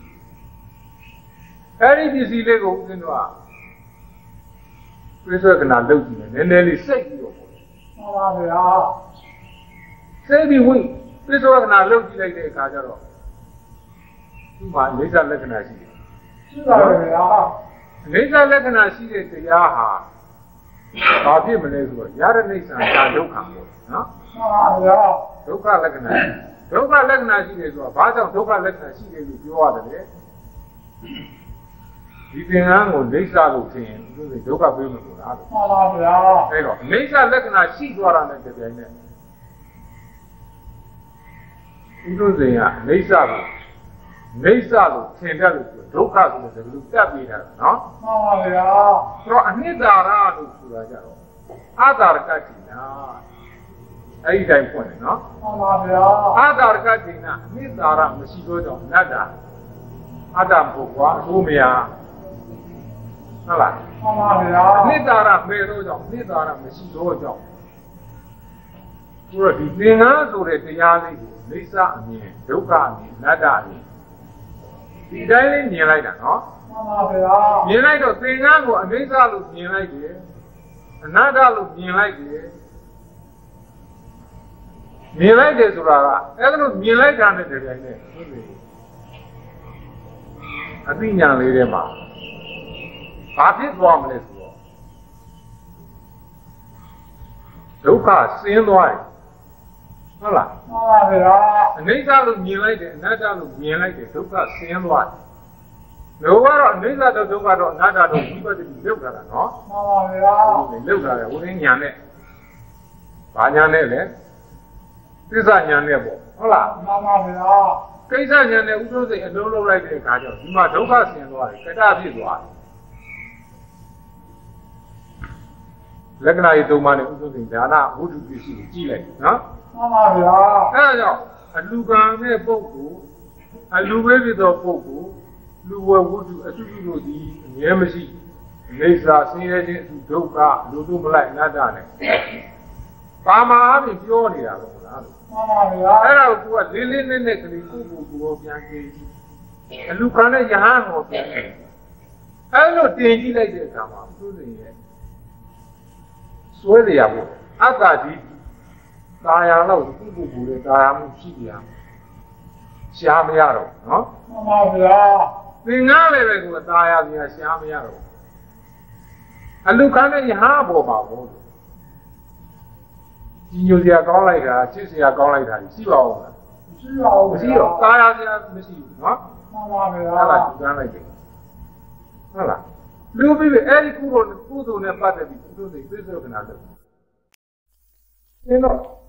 သာယာမှုမပါဘူးသာယာမှုကင်းသွားတယ်အဲ့လိုသာယာမှုကင်းသွားတဲ့အတွက်ဖြစ်ပေါ်လာတဲ့နောက်ထပ်ကုသိုလ်ဟာဒိဋ္ဌဒုက္ခအနတ္တကတို့ပြီးကုသိုလ် နော်မှန်ပါဗျာကုသလကုသလဇာဟံဆိုတယ်လို့ဒီကုသိုလ်ကဇာဟံကိုသူကကုသိုလ်စိတ်ဆုံးရမလို့ဒီဒီသူကသူပြည့်မဲ့ဟာမှန်ပါဗျာဘာကမှလို့ရမယ်ကုသိုလ်မဟုတ်ဘာဝိတ္တမှလို့ရမယ်ကုသိုလ်ဘယ်လိုလဲဒီညိုမှာမဲ့ကိုကုသိုလ်လို့ပြောတယ်မှန်ပါဗျာဒါတော့ကုသိုလ်ကဘုရားပေရမယ်ကုသိုလ်ကိုအဲ့တော့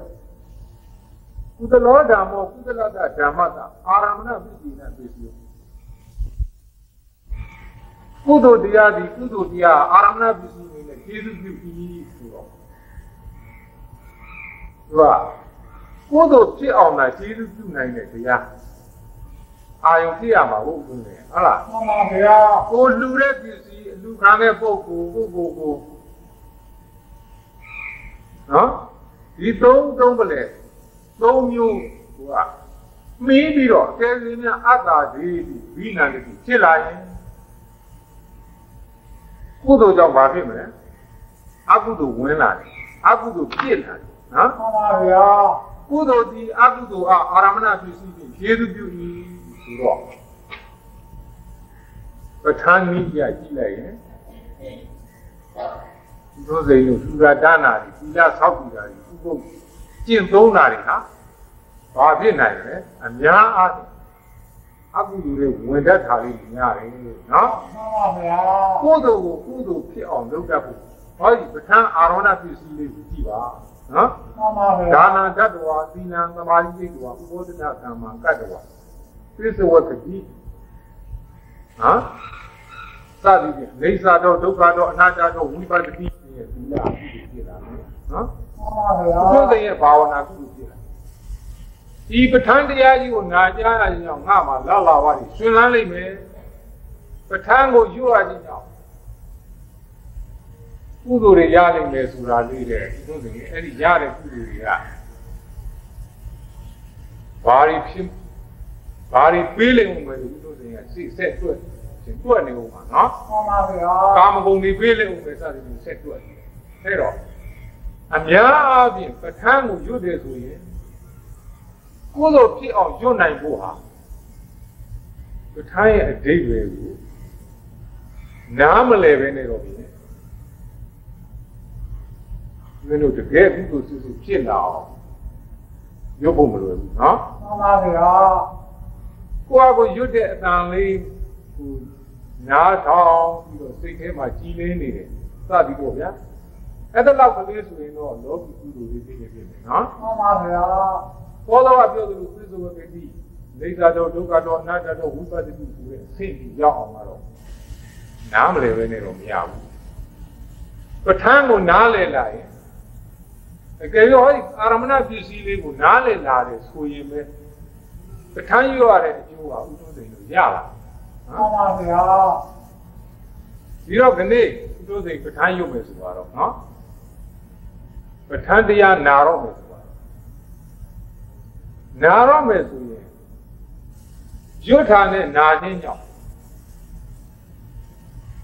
လူစည်းစိမ်နတ်စည်းစိမ်အစရှိသောစည်းစိမ်များနော်ကာမဂုဏ်ချမ်းသာများတနည်းနဲ့တနည်းတိုးပွားလိမ့်မယ်လို့ဆိုတဲ့ယုံကြည်ချက်ကလေးနဲ့များပဋ္ဌာန်းရွတ်လို့ရှိရင်တို့တွေဒီအာရမဏပစ္စည်းအရာကုသိုလ်ဖြစ်မဖြစ်ဆိုတာလေးထောက်ဆပြီးတော့ပေါ့ဗျာ နော်မှန်ပါဗျာပဋ္ဌာန်းနဲ့ပတ်သက်ပြီးဒီလောက်ပဲပြောကြပါလို့ပြောတယ်ဟုတ်လားမှန်ပါဗျာ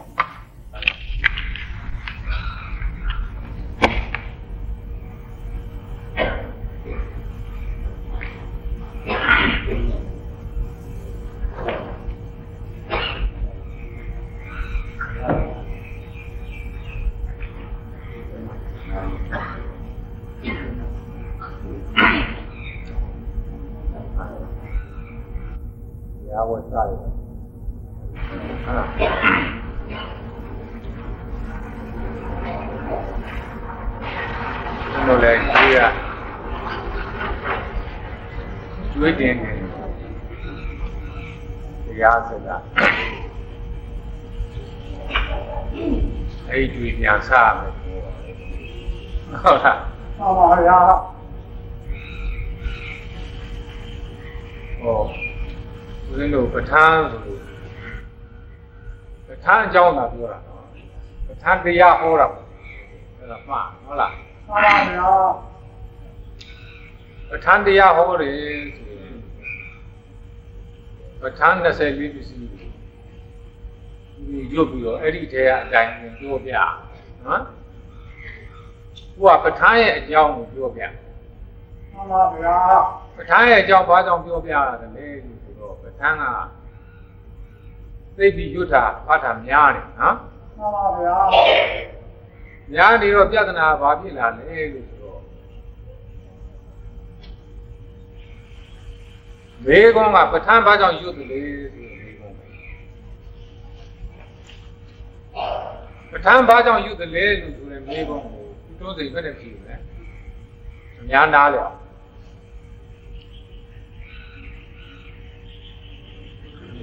အန္တရာယ်ပြောင်းပါဗျာအင်္ဂရကင်းအောင်လို့ဒါလည်းတို့တွေချင်းပြီးမျိုးဆိုတယ်နော်မှန်ပါဗျာတော်တန်နားလည်တဲ့ပုဂ္ဂိုလ်များက ပဋ္ဌာန်းဘာကြောင့်ရွတ်တယ်လဲတို့စိတ်ကိုသိအောင်တို့စိတ်ကိုဘုဒ္ဓတာဖြစ်နော်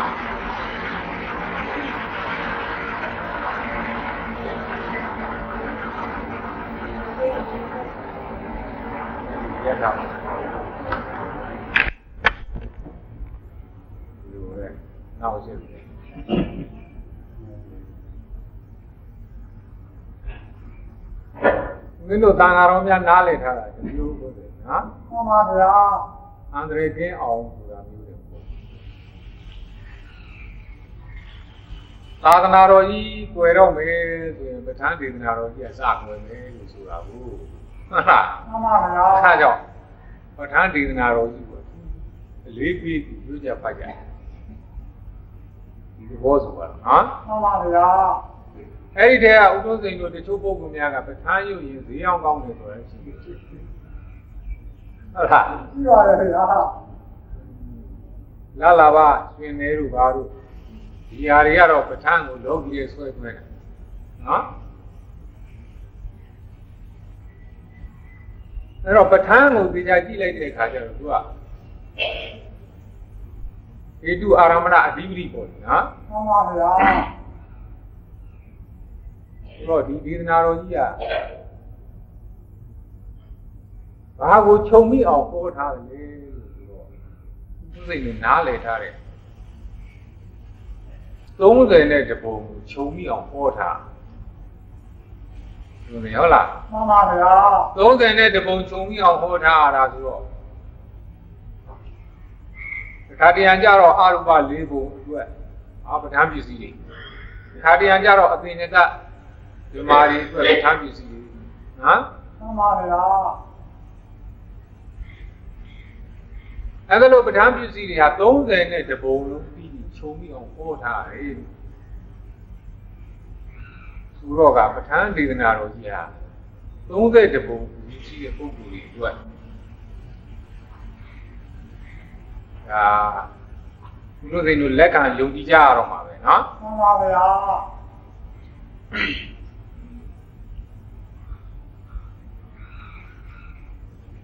အကယ်၍များ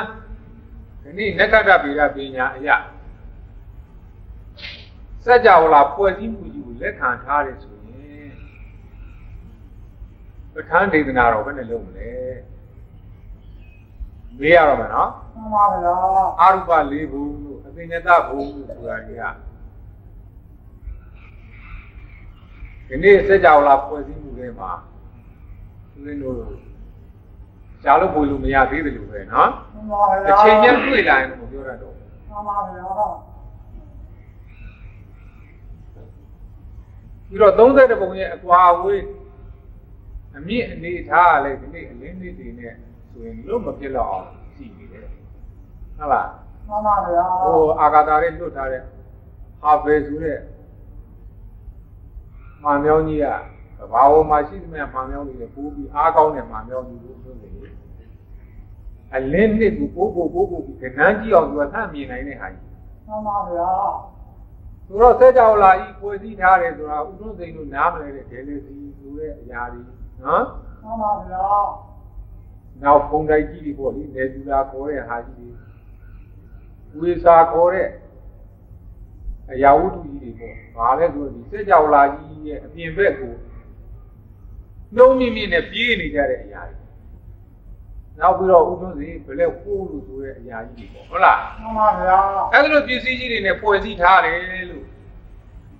ဒီနေ့နဂတဗေဒပညာရှင်တွေကဒီစကြဝဠာကြီးကိုထောက်လန်းပြီးကြည့်တဲ့အခါကျတော့သက်ရှိဆိုတာခါရှားရှားကုတိရှားလို့ပူလို့သိမတွေ့ကြသေးဘူးပေါ့လေ ဟမ်မှန်ပါဗျာဦးဇင်းတို့နဲ့အနီးဆုံးအင်္ဂါဂျူမှာတော့ရေစက်ရေပေါက်ကလေးတွေတွေ့တယ်လို့ပဲဟိုတော့ကပုံလေးပါတွေနဲ့ပြသွားတယ်နော်မှန်ပါဗျာအဲတော့ရေစက်ကလေးတွေရှိနေတယ်ဆိုတော့ရေရှိတဲ့နေရာမှာတက်ရှိတတ်တော်ရှိတတ်တယ်ပေါ့လေ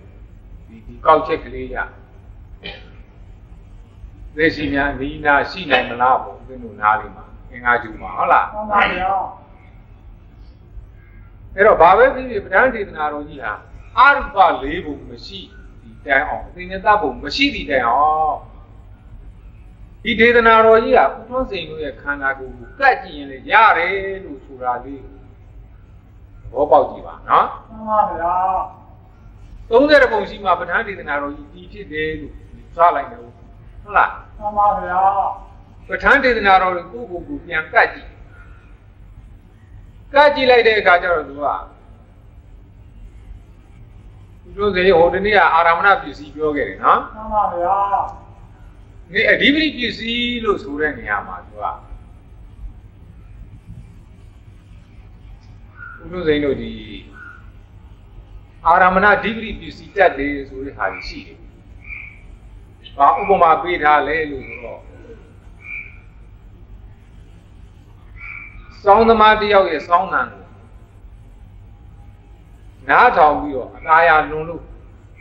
အိမ်မောကလိမ့်ကြတယ်ဆိုတဲ့ဟာမျိုးတွေနော်မှန်ပါဗျာအဲ့ဒါမျိုးတွေကကဘာဖလားဘောလုံးပွဲကြရင်ဥဒ္ဒစေအများဆုံးတွေ့ရတယ်အာရမဏဓိပတိပစ္စည်းနော်မှန်မှန်ပါဗျာရှုံးရင်လည်းရှုံးတဲ့နိုင်ငံကပုံကိုယ်တွေကတီဗီပိုက်ပြီးစစ်ထတိုက်လောက်ကနေပုံချတယ်ဒါအာရမဏဒီပစ္စည်းတွေပဲဟုတ်လားမှန်ပါဗျာ နိုင်ရင်လည်းပဲအပျော်လွန်ပြီးတော့တချို့နိုင်ငံတွေလည်းဒီ20 30လောက်ပြီးတာပဲအပျော်လွန်ကြတာဒါတွေကအာရမဏဒီပစ္စည်းတက်ကြတယ်ကိုဆွဲလန်းတဲ့အာယုန်နဲ့ပတ်သက်ပြီးတော့အဲ့ဒီထဲမှာစိတ်ဝင်စားမှုများပြီးတော့မထိန်နိုင်မသိနိုင်အောင်ဖြစ်ထားတယ်အာရမဏဒီပစ္စည်းတက်တယ်မှန်ပါဗျာဘုဒ္ဓစိတ်ကြိုက်တတ်တဲ့ပစ္စည်းကလေး ဘလောက်ပဲဖြတ်မယ်လို့ပြောပြောအချိန်တန်မနေနိုင်ဘူးထပြီးကောက်ခနဲ့လုပ်ရတာပါလေဒီပစ္စည်းကိုဘုဒ္ဓစိတ်အာရမဏပစ္စည်းတက်တာနော်မှန်ပါဗျာအာရသာယုဟုတ်လားမှန်ပါဗျာရသာယုကအဓိပ္ပာယ်ပစ္စည်းလေးတက်တာရသာယုကဘုဒ္ဓစိတ်ရဲ့ဇေဝပဒါရကိုနော်ဆွဲဆောင်ထားတယ်အဲဒါလို့ဆွဲဆောင်ထားလိုက်တဲ့အခါကျတော့ ဇေဝပဒါရကိုပြီးပြီးတော့ဖြစ်လာရတဲ့ဇေဝဝိညာဉ်နဲ့တကွာဖြစ်တဲ့ရတတဏှာလေးอ่ะဟမ်ရတယုံကိုဆွဲလွန်သွားတယ်အစွဲလွန်သွားတော့ဥပါဒံအဆင့်တီရောက်သွားတော့ဥပါဒံအဆင့်တီရောက်သွားတဲ့အခါကျကြိုက်မချက်ဆိုတော့ဖြစ်မသွားဘူးလားဖြစ်ပါတယ်ဗျာဒါဒီဗီပစ္စည်းတက်တဲ့သဘောကြီးအဲ့ဒီဒီဗီပစ္စည်းဟာဥထုံးစင်ရဲ့ခန္ဓာကိုယ်ရင်ပဲရှိနေတာပဲ မှန်ပါဗျာအဲ့ဒီတိုင်းမြင်အောင်ကြည့်အဆင်းနဲ့ပတ်သက်လို့လည်းပဲမမြင်ရမနေနိုင်ဘူးဆိုတာဒါအာရမဏဒီဗီပစ္စည်းအတန်နဲ့ပတ်သက်လို့မကြားရမနေနိုင်ဘူးဆိုတာလည်းအဒီဗီပစ္စည်းပဲဟုတ်လားမှန်ပါဗျာအာရမဏဒီဗီပစ္စည်းတွေတက်တယ်အဲ့တော့ရာသဖုဒ္ဓဘစယူတဲ့ကိစ္စအာယုံ၅ပါးနဲ့ပတ်သက်လို့ ဒါပိစာယုံပေါ့လေနော်မှန်ပါဗျာဟိုဓမ္မယုံကြတော့ဥပ္ပဒေဆိုတော့သိပြီးအဓိပ္ပာယ်ပစ္စည်းတက်ချင်မှတတ်မှာဟုတ်လားအဲ့ဒီပိစာယုံပေါ်မှာကိုယ့်ရဲ့ဓာရ၅ပေါက်ကနေဝဲလာတဲ့အာယုံတွေကိုစက္ခုဝိညာဉ်သောတာဝိညာဉ်အစရှိတဲ့ဝိညာဉ်ပိစဝိညာဉ်နဲ့တွဲပြီးဖြစ်လာတဲ့ဘာကောင်လဲဒီလိုလေ ဥပနာတတတနာခန္ဓာတနာရတတနာပုထဝတနာဆိုတဲ့ပစ္စည်းနော်မှန်ပါဗျာသူကရှင်းသွားပြီဥပါဒအဆင့်ရောက်သွားပြီဆိုရင်ဥဒ္ဓစိန်ကိုအဲ့ဒီအာယုန်တွေကဆွဲတယ်လို့ပဲ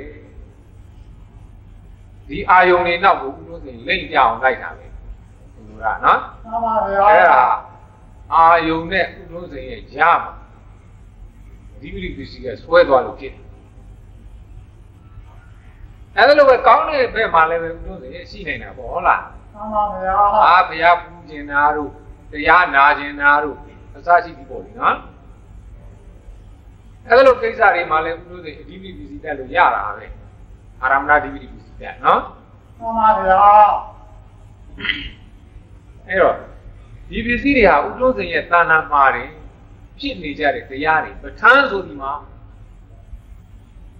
ရွတ်တဲ့အတန်ကိုပေါ်တာလည်းမဟုတ်ဘူးနော်မှန်ပါဗျာစာအုပ်ထဲကစလုံးတွေကိုလည်းပဲပဋ္ဌာန်းလို့ပေါ်တာမဟုတ်ဘူး။ဘာယုံတွန်းစိန်အာယုံနဲ့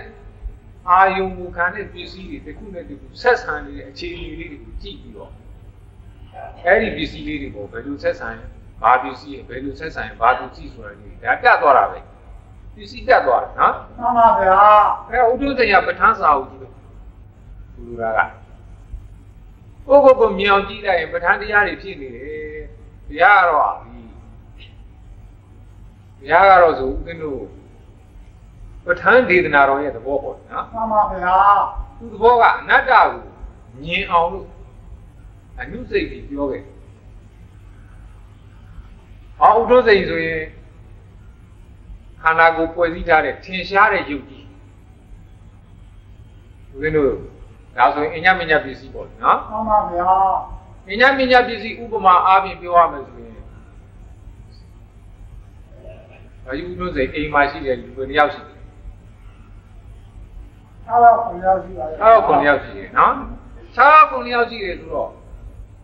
ဥဒ္ဒစိန်ကတောရဲထွက်ပြီးအလုပ်လုပ်တယ်။ဟုတ်လား။တောရဲထွက်လုံးလုပ်ပြီးတော့ဝင်ဝင်ရအောင်ရှာတယ်။အိမ်ကတက္ကမကြီးကရလာတဲ့ဝင်ဝင်နဲ့ဘာလုပ်တယ်လဲ။ သားရတောက်စရာဝယ်ပြီးချက်ပြုတ်ဥဒ္ဒစိန်ကိုကျွေးတယ်နော်။ပြီးပါလေဗျာအဲ့လိုကြွတော့ဥထုံးစိန်အားအင်ရှိပြီးတော့တဲ့အလုံးလုံးနိုင်တယ်စသည်ပေါ့လေနော်မှန်ပါဗျာဥထုံးစိန်တော့တဲ့အလုံးလုံးလို့လေပဲပိုက်ဆံဝင်ဝင်ရလာပြီးကိုယ်အိမ်တော်ကိုထိမ့်သိမ့်တယ်ဒီသားသမီးတွေရှိတဲ့အတွက်လည်းပဲဥထုံးစိန်အလုံးလုံးချင်းစိတ်ပေါက်လာတယ်တယောက်တည်းဆိုပြင်းရင်ပြင်းနေမှာနော်မှန်ပါဗျာအားလေးမျက်နှာသမီးလေးမျက်နှာကြည့်ဒီငါကြိုးစားအောင်မှဆိုတာပြည့်လာပြီးပါလေဗျာ အဲ့တော့သားသမီးတွေကလည်းပဲဥထုံးစိန်ရဲ့ကျေးဇူးပြုခံရတယ်လို့ဘာကြီးဥထုံးစိန်လဲနဲဆုံးညအိယာဝင်ရောင်းနေညာတဲ့အခါဒီနင်းတိုင်းလို့မရဘူးရပါလေဗျာတအိမ်တော်နဲ့အတူနေတဲ့ပုံကိုယ်တွေနော်မှန်ပါဗျာအဲ့တော့တအိမ်တော်နဲ့အတူနေတဲ့ပုံကိုယ်တွေတူပေါ်တူကျေးဇူးပြုအဲ့တော့တူပေါ်တူကျေးဇူးပြုနေတာကိုပညာပညာပြုစီ အချင်းချင်းအထောက်ပံ့ပေးနေသားသမီးကမိဘကိုကျေးဇူးပြုတယ်မိဘကသားသမီးကိုကျေးဇူးပြုတယ်နော်မှန်ပါဗျာလင်သားကအိမ်ရှင်မကိုအိမ်ရှင်မကလင်သားကိုစသည်ဖြင့်ချင်းချင်းအဲ့ဒါလိုကျေးဇူးပြုနေတာလေပညာပညာပြုစီအဲ့ဒီမှာလေဘာပစ္စည်းတွင်းလို့ရတယ်သဟဇာတပစ္စည်းနော်မှန်ပါဗျာသဟဇာတပစ္စည်းအတူနေကြတာအတူနေရင်းနဲ့ကျေးဇူးပြုတော့သဟဇာတပစ္စည်းပညာပညာပစ္စည်းတို့ကပါလေ အချင်းချင်းကျေးဇူးပြုဒီနေရာလေးမှာနောက်တစ်ပစ္စည်းတစ်ခုတွင်းလို့ရတယ်မိတ်တရားပစ္စည်းဟမ်မှန်ပါဗျာသားသမီးကမိဘကိုပြီးနေရတယ်ဟုတ်လားမိဘအသက်ကြီးလာလို့သားသမီးစီးပွားရှာနိုင်တဲ့အခါကျတော့မိဘကသားသမီးကိုမပြီးရဘူးရပါလေဗျာမိသီးရပြီဒီလိုဟာလေးတွေဒါဥပမာလေးတွေနော်မှန်ပါဗျာအဲ့ဒီလိုလေးတွေအချင်းချင်းကျေးဇူးပြုသွားတာကြတာလေး ပညာမညာသဟဇာတမိသီးရဆိုတဲ့ပစ္စည်းလေးတွေဟောပုရိဇာတတို့ပိစ္ဆာဇာတတို့ဆိုတာလေသူတို့စီသူ့ဟာလေးလေးသူခွဲပြောမယ်ဆိုရင်တော့အဓိပ္ပာယ်ရှိတာကြီးပဲနော်မှန်ပါဗျာရှေ့ကဖြစ်ပြီးတော့နောက်ပစ္စည်းနောက်တရားကိုကျေးဇူးပြုသွားတယ်နောက်ဖြစ်မဲ့တရားကရှေ့ဖြစ်ခဲ့ပြီးသားတရားကိုကျေးဇူးပြုတယ်ဆိုတဲ့ဟာလေးဟမ်မှန်ပါဗျာဟောအာဒေဝနာပစ္စည်းဆိုရင် တို့စိန်တို့ဒီတဲ့နဲ့အမြစာကျက်တဲ့ပုဂ္ဂိုလ်ဆိုတာအာဒေဝနာပစ္စည်းခေါ်တာပဲနော်မှန်ပါဗျာစီဝါရှာတဲ့ပုဂ္ဂိုလ်ဆိုတာလည်းအာဒေဝနာပစ္စည်းကိုနေ့စဉ်နဲ့အမြကိုစီဝါကိုဆက်မပြတ်ရှားနေတာအာဒေဝနာပစ္စည်းအဖန်ပန်အခါကအထက်ထက်မိဝဲနေရတဲ့လုပ်ငန်းမျိုးနော်မှန်ပါလုပ်နေရတဲ့အလုပ်မျိုး ကလေးတုန်းကကာယိထာဝေအချင်းချင်းဘာမှကြက်လာတယ်လားလို့ရခဲ့ရပါလေဗျာပထမရွတ်လိုက်တဲ့ကာကြီးကနောက်ရွတ်လိုက်တဲ့ကာကြီးကိုအာဒီဝနာပစ္စည်းနဲ့ကျေးဇူးပြုလာနော်မှန်ပါဗျာဒုတိယရွတ်တဲ့ကာကြီးကတတိယရွတ်တဲ့ကာကြီးကိုအာဒီဝနာပစ္စည်းနဲ့ကျေးဇူးပြုအဲ့ဒါလိုပဲတတိယကာကြီးကသဒုရအချိန်ကာကြီးကိုအာဒီဝနာပစ္စည်းနဲ့ကျေးဇူးပြုဒီလိုလေးတွေကျေးဇူးပြုပါဟုတ်လား ပထမဖြစ်တဲ့စိတ်ကလေးကဒုတိယဖြစ်တဲ့စိတ်ကလေးကိုဒုတိယဖြစ်တဲ့စိတ်ကလေးကတတိယဖြစ်တဲ့စိတ်ကလေးကိုပြန်ပြန်အလန်းလန်းကျေးဇူးပြုပါအဲ့တော့ဥဒ္ဒဇေရဲ့စိတ်ထဲမှာစေရနာဆိုတဲ့တရားလေးပေါ့နော်မှန်ပါဗျာကံဆိုတဲ့တရားလေးအဲ့ဒီကံဆိုတဲ့တရားလေးဟာတစ်စိတ်ပြီးတစ်စိတ်တစ်စိတ်ပြီးတစ်စိတ်ဖြစ်ဖြစ်ဖြစ်ဖြစ်သွားပြီးတော့ပထမစိတ်ကဒုတိယစိတ်ကိုဒုတိယစိတ်ကတတိယစိတ်ကိုစပြီးစေရနာလေးအဆက်မပြတ်တဲ့လူလေးဖြစ်နော် မှန်ပါဗျာအာဒီဝနပစ္စည်းအာဒီဝနပစ္စည်းအားကောင်းလာရင်အကျိုးပေးတန်တယ်လို့ဘာလို့ဆိုတာကြီးဒါတွေပြောတာနော်မှန်ပါဗျာအဲ့လိုပစ္စည်းတွေဥတုစိန်မှာဖြစ်နေတယ်ဆိုတော့ဥတုစိန်ရဲ့ခန္ဓာကိုယ်ကြီးကိုကြည့်လိုက်ကြည့်လိုက်တော့ရူပကာယကြီးပေါ့ဗျာမြင်နေရနော်မှန်ပါဗျာအဲ့ဒါကိုဘာနဲ့ပွဲစည်းထားတယ်လို့ဥတုစိန်ဖြေမလဲဓာတ်လေးပါးနဲ့ဖွဲ့စည်းထားတာဓာတ်လေးပါးနဲ့ပွဲစည်းထားတယ်အဲ့ဒီဓာတ်လေးပါး ဟောအညမညပစ္စည်းတက်ပြရတယ်ခင်ဗျာနော်မှန်ပါဗျာနေတိယပစ္စည်းတက်ပြထားတယ်သဟဇာတပစ္စည်းတက်ပြတယ်ဘယ်လိုဥပမာပေးထားလဲဆိုဟောဒီသဘွဲကြီးမှာခြေတော်၄ချောင်းရှိတယ်နော်မှန်ပါဗျာခြေတော်၄ချောင်းရှိတော့တစ်ချောင်းသောခြေတော်ကဘုသုံးချောင်းသောခြေတော်ကိုပြီးနေရတယ်ခြေတော်တစ်ချောင်းပြတ်သွားရင်သဘွဲကြီးကောင်းမှာမဟုတ်လား စောင်းသွားမှာပါဗျာဟုတ်လားအဲ့ဒါလိုပဲခြေထောက်နှစ်ချောင်းကဟိုနှစ်ချောင်းကိုပြီးရထို့သူကြံသုံးချောင်းကတစ်ချောင်းသောခြေထောက်ကိုပြီးတယ်ဆိုတော့ဓာတ်ကြီးလေးပါဆိုတာအာဝိနိဘောကဆိုရဲရုပ်ထဲမှာပါတယ်ဟုတ်လားမှန်ပါဗျာအာဝိနိဘောကဓာတ်လေးပါးရဲ့ဘုဏခန္ဓာရတ္တဘောဇာ ဓာတ်လေးပါပေါင်းလိုက်ရင်ဝဏဆိုတာဖြစ်လာပြီသူကအင်နာဂျီရုပ်တွေလို့ပြောရမလားမသိဘူးဟုတ်မှန်လားပါဗျာဘောဟာရစမ်းထွင်တာတော့မဟုတ်ပါဘူးလေဓာတ်လေးပါနှုတ်လိုက်ရင်ဝဏမရှိဘူးကန္နာမရှိဘူးရတ္တမရှိဘူးဩဇာမရှိဘူးမှန်ပါဗျာအဲဒီဓာတ်လေးပါပေါင်းလိုက်တာနဲ့တကယ်နဲ့ဝဏကန္နာရတ္တဩဇာပေါ်လာပြန်အောက်ဝိဘောဂရေရှိပါအထကလယုရှိပါလို့လည်းခေါ်တယ်မှန်ပါဗျာအဲ့ဒီရုပ်ရှိပါ ဆိုတော့အခြေခံအားဖြင့်တော့စတ္တရောစမဟာဗုဒ္ဓဆိုတော့မဟာဗုဒ္ဓကြီး၄ပါးဘုရားအပြီးမှာသူကရုပ်ပိုင်းမှာအခြေခံထားတယ်နော်မှန်ပါဗျာရုပ်ပိုင်းမှာမဟာဗုဒ္ဓ၄ပါးအခြေခံထားတော့ဒီရုပ်ကြီး၄ခုမခွဲမခွာပဲနဲ့နေနိုင်အောင်တူကိုတူကိုကြည့်ပြုနေရတယ် အဲ့လိုကျေသူပြုရတာကပဋ္ဌာန်းမှာတော့ဧကံမဟာဘူတံပဋိစ္စတယောမဟာဘူတံဒွေမဟာဘူတေပဋိစ္စဒွေမဟာဘူတံဟမ်မှန်ပါဗျာ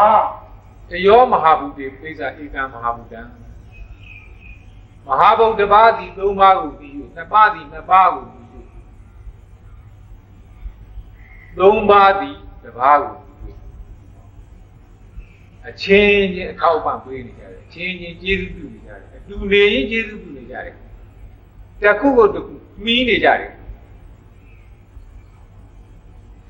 အဲ့ဒါလို့မှီးနေတဲ့အတွက်လည်းပဲဘုရားစိတ်တဏ္ဍာမှာဓာတ်ကြီးလေးပါညီမျှနေတယ်လို့ပြောတာနော်မှန်ပါဗျာမညီမျှလို့ကိုယ်ရသွားလဲအဲ့ဒီဓာတ်ကြီးလေးပါဒီတင်နေရာမှာသူကအဝိနိဘောဂအနေနဲ့ရှိနေတာပဲ မှန်ပါဗျာဟောဥဒ္ဓစိတ်တဏ္ဍာမှာရောက်လာတဲ့အခါကျတော့ဥဒ္ဓစိတ်ကဒီဓာတ်ကြီးလေးပါညီမျှအောင်ဓာတ်ကြီးလေးပါအဆင်ပြေအောင်နော်အပူနဲ့အပူလေးဖြစ်အေးနဲ့အေးဖြစ်ဟုတ်လားမှန်ပါဗျာပျော့နေတဲ့ခြင်းအမာလေးဖြစ်ပြီးမားနေတဲ့ခြင်းအပျော်လေးဖြစ်ပြီးလေအားနဲ့နေတဲ့ခြင်းလေအားများတဲ့စီးစီးစားပြီးလေအားများရင်ဟောပထဝီဓာတ်လေးစားပြီးလိုက်တော့လေနေရာကျင့်သွားတာမဟုတ်ဘူးလေ နော်မှန်ပါဗျာအဲ့ဒါလိုပဲအာဘောတန်အောင်အာဘောရော့အောင်စသည်ဖြင့်သူတို့စိတ်လို့ဆေးနဲ့ပြုပြင်နေတယ်ဆိုတော့ဒီအလုပ်လုပ်နေတာပဲနော်မှန်ပါဗျာအဲ့လိုဓာတ်ကြီးလေးပါပြုပြင်ပြောင်းလဲပြီးတော့သူ့အချင်းချင်းကျေးဇူးပြုနေတာလေးဟာသူတို့စိတ်ရဲ့ပဋ္ဌာန်းတရားလေးဆိုတော့သုဒ္ဓဓမ္မာပုဂ္ဂံဒီအဲ့လိုဖြစ်နေတဲ့ဓာတ်ကြီးလေးပါရဲ့ကိစ္စမှာ ဓာတ်ကြီးလေးပါအချင်းချင်းကျေးဇူးပြုနေတဲ့နေရာမှာသုဒ္ဓဓမ္မာပုဂ္ဂံဒီဆိုတဲ့ဒီလိုဘာကြောင့်သုံးရတယ်လဲလို့ဆိုတော့သူတို့စိတ်ကြီးအမိန်ပေးတဲ့ပုဂ္ဂိုလ်ဖယ်ခြင်းလို့နော်မှန်ပါဗျာအမိတ်ပေးတဲ့ပုဂ္ဂိုလ်ဖယ်ရင်လို့ဆိုတော့ပထဝီကဘယ်နေရာနေအာဘောကဘယ်နေရာနေဝါယောကဘယ်နေရာနေတီဇောကဘယ်နေရာနေစသည်ဖြင့်ဓာတ်ကြီးလေးပါးကိုအမိတ်ပေးပြီးတော့ခိုင်းနေတယ်သူတို့နောက်က ခရီအေတာပေါ့လေနော်မှန်ပါဓာဗျာတ်ကြီးလေးပါးကိုဖန်တီးတဲ့ပုဂ္ဂိုလ်နောက်ပြီးတော့ဒီဓာတ်ကြီးလေးပါးကိုစတင်ပြီးတော့လှုပ်ရှားပေးလိုက်တဲ့ prime mover ဆိုတဲ့တရားမျိုးဖယ်ခြင်းလို့အဲလိုဖယ်ခြင်းလို့အညမညနေတယသဟစာတာဘယ်သူမှသူတို့ပြီးမနေဘူးသူတို့အချင်းချင်းသာပြီးတယ်နော်မှန်ပါဗျာ ဘသူကမှသူတို့ကျေးဇူးပြုတာမဟုတ်ဘူးသူတို့အချင်းချင်းကသူတို့ပြန်ကျေးဇူးပြုတယ်ဟုတ်လားအဲလိုကျေးဇူးပြုနေတာဖြစ်တဲ့အတွက်ဒါကိုပဋိစ္စသမုပ္ပါဏဝါဒတရားကြည်ညာနော်မှန်ပါဗျာဘာကြောင့်လဲဆိုတော့ပဋိစ္စသမုပ္ပါဏရဲ့ဝါဒရဲ့ဆန့်ကျင်မဲ့အဓိစ္စသမုပ္ပါဏဝါဒဆိုတာရှိတယ်မှန်ပါဗျာအဓိစ္စသမုပ္ပါဏဝါဒကျတော့ဓာတ်ကြီးလေးပါးကိုဖန်ဆင်းသူရှိတယ် ဓာတ်ကြီးလေးပါးဒီလိုလှုပ်ရှားနေနိုင်အောင်ဓာတ်ကြီးလေးပါးဒီလိုအလုံးလုံးနေနိုင်အောင်ဓာတ်ကြီးလေးပါးကမင်းတို့ဒီကားကြောမှာဝိဇ္ဇုတခုရှိတယ်မဟာန္တာနိအဘုဒ္ဓာနိကရုံတိဝိယဆိုတော့နော်မှန်ပါဗျာမဟာန္တာနိများစွာကုန်သောအဘုဒ္ဓာနိလေရာချက်ဘုဒ္ဓမြတ်တို့ကိုကရုဏိဝိယပြုတကဲ့သို့ဟွာ နောက်နာတစ်ဆက်ပြီးတာမာယာကာရာတယောဂီယမြက်လက်သမားလို့ပဲဓာတ်ကြီးလေးကမြက်လက်နဲ့တူတယ်ဟုတ်လားမြက်လက်သမားနဲ့ဥပမာပေးတာဥဒုစိန်ကျတော့လူပုံကဏ္ဍဟုတ်လားမှန်ပါဗျာကျွတ်တို့ကြောင်းကဟိုဖိုးချုပ်သူရဲ့အကောင်ကြတော့လေးဘက်ကြီးထောက်လို့ဆိုတယ်ဟုတ်လားမှန်ပါဗျာအမျိုးမျိုးတွေအဲ့ဒါလို့ပုံကဏ္ဍအမျိုးမျိုးတွေနဲ့ဖန်ဆင်းပေးတာဥဒုစိန်က ပြည့်ညက်တွေနဲ့လက်ပတ်ပြီးတော့ခွဲခြားပြလိုက်တာမဟုတ်လားလို့မှန်ပါဗျာခွဲခြားပြလိုက်တဲ့ခွေးဟဲ့လူဟဲ့နွားဟဲ့ဆင်ဟဲ့ကျွဲဟဲ့စသဖြင့်အဲ့လိုပုံကဏ္ဍအမျိုးမျိုးတွေဖြစ်အောင်ဘယ်သူလုပ်တာလဲဒါကလာတာနော်မှန်ပါဗျာဓာတ်ကြီးလေးပါဝင်အလုပ်လုပ်ဒီပုံထဲမှာဓာတ်ကြီးလေးပါတွေပဲရှိတယ်တို့တယ်နော်မှန်ပါဗျာဓာတ်ကြီးလေးပါတွေပဲရှိတယ်ဆိုတာကအခြေခံအားဖြင့်ပြောတာနော် သတ္တရောသမဟာဗုဒ္ဓစတုံသစ္စာမဟာဗုဒ္ဓနာဥပါဒါယရူပဒုတိယအချိန်ဒုတိယတက်လိုက်တဲ့အခါကျတော့ဥပါဒါယုတ်နော်အဲဒီဥပါဒါယုတ်ပြီးတော့ဗာတက်လာတယ်ဣတိဇပနမေဝိညာဏဣဋ္ဌတိတံဣဋ္ဌပရိပါဒငါဤဝိညာဉ်တိဤခန္ဓာကိုယ်ကာယ၌မိဝိညာဉ်တက်လာသိတတ်တဲ့တရားတွေလို့ဆိုရင်နော်မှန်ပါဗျာဓာတ်ကြီးလေးပါဥပါဒါယုတ်သိတတ်တဲ့စိတ်ဆိုတဲ့တရားဝိညာဉ်ဆိုတဲ့တရား အဲ့ဒါလို့လေတက်လာပြီးတော့ဝိညာဉ်ကနေပြီးတော့ဒီဘက်ပွားပေးလိုက်ဘာတရားတွေဖြစ်တယ်စေတသိက်ဆိုတဲ့တရားတွေနော်ဘုရားလေဆရာတော်ကြီးကတော့ယုံနဲ့နာနဲ့ကြားမှာအောင်သွေပြီးထားတဲ့ဝိညာဏတ္တမှန်ပါဗျာဝိညာဏတ္တဒီဘက်နားမှာနာနေဖြစ်လာအဲ့ဒီနာနေဖြစ်လာတဲ့အခါကျတော့ဘာဖြစ်လဲဝိညာဏတ္တဆိုတဲ့နေရာကလေးမှာကိုဓာတ်ကြီးလေးပါဘာမလာတော့ ပြောတယ်မှန်ပါဗျာဝိညာဏတ္တမတိုင်ခင်ကဓာတ်ကြီးလေးပါပါတယ်ဥပါဒါယုတ်ဆိုတဲ့အဲမှာဓာတ်ကြီးလေးပါပါတယ်နော်မျက်စိသက္ကုပဒါရဥပါဒါယုတ်အဲဒီသက္ကုပဒါရဟာဘသူကိုမှီဖြစ်နေရတယ်လေသတ္တရောသမဟာဗုဒ္ဓစတုံနိစ္စမဟာဗုဒ္ဓနာဥပါဒါယရူပမယ်ဟုတ်လားမှန်ပါဗျာစတုံနိစ္စမဟာဗုဒ္ဓနာဥပါဒါယရူပ သက္ကုပဒါရဆိုတဲ့ပစ္စည်းဟာ၄ပါးသောမဟာဗုဒ္ဓတရားတို့မှီ၍ဖြစ်တယ်ဝါအဲ့ဒီ၄ပါးသောတရားတွေပေါင်းစပ်ထားလို့သက္ကုပဒါရဆိုဖြစ်တယ်ပေါင်းစပ်ဖို့ချိုးလေးဖို့နော်မှန်ပါဗျာဥပမာမျက်စိမှာပေါင်းစပ်တဲ့အခါကျတော့ဒီဇောကဲတယ်အာကာသကြကဲတယ်စသည်ဆိုပါတော့ဟုတ်လားမှန်ပါဗျာသောတာပဒါရကိုပေါင်းစပ်တဲ့အခါကျတော့ဝါယောဓာတ်ကဲတယ်စသည် ဒီလိုလေးတွေပေါ့ဥပမာပြောတာနော်တကယ်ကဲတယ်ပြောတာမဟုတ်မှန်ပါဗျာဟုတ်လားဆိုတော့ဒါကလေးတစ်ခုစီတစ်ခုစီကဲပြီးတော့လွတ်ပြီးသွားတာ ਨੇ ဥဒ္ဒသိမှာစဒွာရဒါမှမဟုတ်ပင်စဒွာရနော်မှန်ပါဗျာဒါမှမဟုတ်ပဒါရယုတ်၅ပါးပဒါရယုတ်၅ပါးဥဒ္ဒသိမှာပြည့်သက္ကုပဒါရမှာပေါ်ကြီးပုံတွေမျိုးနာနာလေးတွေကွဲသွားတယ်တတ္တိလေးတွေကွဲသွားတယ် ဥပါဒါယုတ်ချင်းမတူဘူးနော်မှန်ပါဗျာသက္ကုပဒါရကဘာကိစ္စတတ်တယ်ဒသနာကိစ္စသောတာပဒါရသဝနာကိစ္စသူကိစ္စလေးတွေနဲ့သူချားမနေဘူးကားရောဗျာချားနေတော့သက္ကုပဒါရကသူ့နယ်ကဘယ်လိုလဲသူ့နယ်ကရူပါယုံအဲ့လိုရူပါယုံကိုသာသူကပိုင်ဆိုးတဲ့အတွက်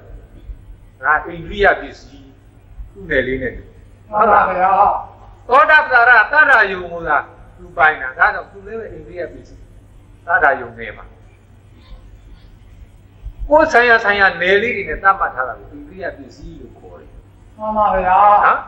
အဲ့လိုအိန္ဒြေဆိုင်ရာအိန္ဒြေလေးတွေနဲ့အစိုးရတယ်လို့ခေါ်တာပေါ့ဒီအိန္ဒိယကိုယ်နယ်လေးကိုကိုအစိုးရတယ်ပိုင်းခြားပြီးအိန္ဒြေတပတ်တိကောင်းတယ်ဆိုတာတစ်မျိုးနော်မှန်ပါဗျာဟုတ်လားအိန္ဒြေကောင်းတယ်ဆိုတော့စိတ်ကုန်တွေကောင်းတယ်ပေါ့ဥဒ္ဒနေ မင်းနဲ့မောင်းနဲ့နေတာပြောကြတာပေါ့မှာတော့ဆိုလိုချင်တာကတော့ရူပါယုံဆိုင်ရာမှာစိတ်ကူရတာကကြီးတာနော်မှန်ပါတတ္တဗျာယုံဆိုင်ရာမှာသောတာပတာကသူ့နယ်လေးနဲ့ခြားနာပြီးအုပ်ချုပ်သွားကြတယ်ဆိုတဲ့သဘောမျိုးလေးပြောရတယ်အဲ့ဒီကိစ္စတွေကဥဒ္ဒဇင်ရဲ့ခန္ဓာကိုယ်မှာပဲမို့လားမှမှန်ပါဗျာဓာတ်ကြီးလေးပါဒီကြီးအစင်းစင်းတဲပြီးတော့ဖြစ်လာကြအဲဒီစကုပ္ပဒါရ ရူပါယုံပြီးစကုဝိညာဉ်ဖြစ်တယ်ဟမ်စကုဝိညာဉ်ကနေပြီးတော့နာမရူပနာယုသာရဏဖာသဝေဒနာတဏဥပါဒံဘဝအစသည်ပဋိစ္စသမုပ္ပါလဲမလို့ဘူးလဲပါရဲ့ဗျာဒီလေဒီအတိုင်းပစ္စည်းပစ္စည်းကပစ္စည်းပစ္စည်းဥပ္ပါပေါ့နော်အကြောင်းအကျိုးဆက်ဆက်ပြီးဖြစ်နေကြတဲ့ခန္ဓာကိုယ်ကြီးဟုတ်တယ်မှန်ပါဗျာအဲ့ဒါကြီးကိုသူစိ ကိုယ်ခန္ဓာကိုယ်မှာပြန်ကြည့်လိုက်ဒါပဋ္ဌာန်းစာအုပ်ကြီးပြန်ကြည့်ရတယ်လို့ပဲသဘောပေါက်ရင်ပေါ့နော်မှန်ပါဗျာဆိုစဉ်းစားကြည့်ပါခြုံပြောရရင်ယုံနာခန္ဓာတို့ရဲ့ဖြစ်ပုံပြက်ပုံတစ်ခုကတစ်ခုကိုကျေးဇူးပြုပုံနော်မှန်ပါဗျာပစ္စပစ္စယုတ်ပံဖြစ်တဲ့ကျေးဇူးပြုကံတရားကပစ္စည်းဖြစ်တဲ့တရားရဲ့ကျေးဇူးပြုကိုခံနေပုံဟမ်မှန်ပါဗျာ ရူပါယုံကသက္ကုပ္ပဒါရကိုကျေးဇူးပြုတယ်အဲ့ဒီအချိန်မှာသောတာပဒါရကရူပါယုံနဲ့ပတ်သက်ပြီးတော့ပြစ္ဆနိဖြစ်နေဖို့သူကျေးဇူးပြုမခံရဘူးလားမှန်ပါဗျာအဲ့ဒီချိန်ပစ္စည်းနဲ့ပစ္စည်းယုတ်ပံဆိုတဲ့ဂျားထဲမှာလွတ်သွားတဲ့တရားကိုပစ္စနိလို့ခေါ်တယ်နော်မှန်ပါဗျာပစ္စည်းပစ္စည်းဥပ္ပါပစ္စည်းဒီသုံးပါပေါင်းလိုက်ရင်ပဋ္ဌာန်းလို့ခေါ်တယ်နော် မှန်ပါဗျာအကြောင်းပြုတဲ့တရားအကျိုးတရားအဲ့ဒီအကြောင်းအကျိုးတစ်ခုနဲ့တစ်ခုကျေစုပြုတ်နေတဲ့အချိန်ကြီးဖြစ်အောင်လုပ်နေတဲ့အချိန်လေးမှာအကြောင်းကျိုးတဲ့မပါတဲ့တရားလေးတွေရှိတယ်။ဆိုင်ရာဆိုင်ရာအကန့်လေးတွေလိုက်တယ်နော်မှန်ပါဗျာ။အဲ့ဒါလို့မပါတာလေးကိုသစ္စာနေကိုခေါ်တယ်။အဲ့တော့ဥဒ္ဓစိန်တဏ္ဍာမှာဒီတရားတွေဖြစ်နေတာပဲမှန်ပါဗျာ။အဲ့တော့ပစ္စည်းပေါင်းဘယ်လောက်ရှိလဲ။24ပစ္စည်းအားဖြင့် ဥဒ္ဓစိန်ခန္ဓာကိုယ်မှာရည်စူးပြရထားပါတော့နော်မှန်ပါဗျာ။ဒီနဲ့ဒီချုပ်လို့မရတော့ဘူးလား။ပစ္စည်းက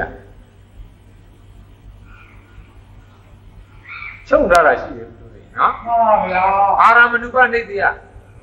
ကမ္မတိပစ္စည်းသူသတ္တိပိပစ္စယသမောဒါနာကိစ္ဆံဤအာရမဏပစ္စည်းဥပနိတ္တိယပစ္စည်းကာမပစ္စည်းအတ္တိပစ္စည်း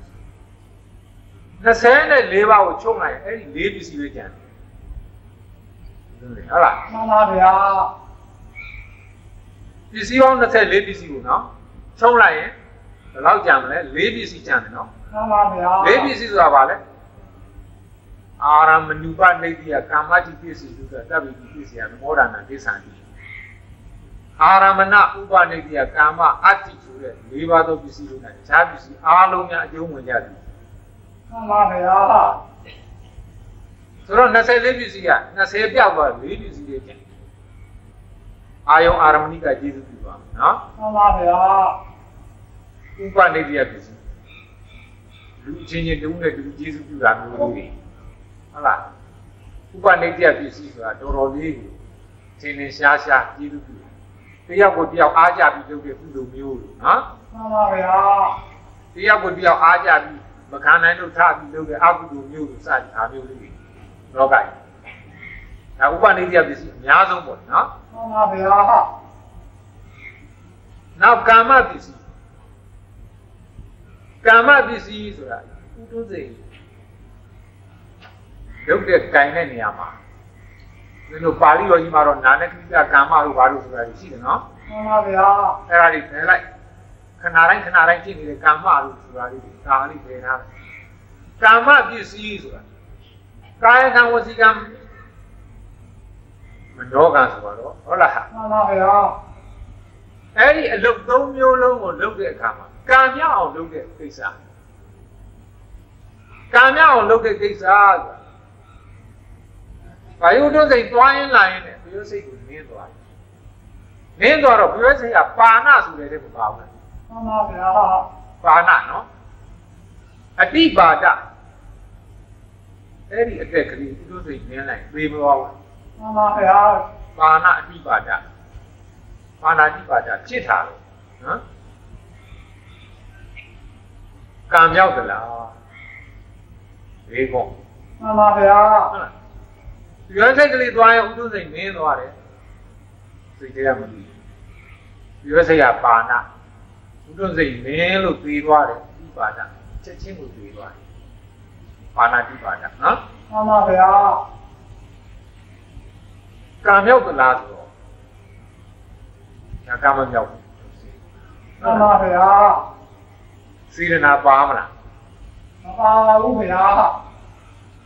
ဥဒုစိတ်ညတိုင်းသိမ့်သိမ့်ထားတဲ့ခင်းဘက်ကလေးဒါနိုင်ပြကလေးပေါ်တယ်နော်မှန်ပါဗျာဒီဘက်ကလေးထွန်းဆောင် ဟင်းကွက်နှိုက်ခံဒီလိုစိအဲ့ဒီအတွက်ကိုရိုက်တယ်ဘာလို့လဲရိုက်တာလဲ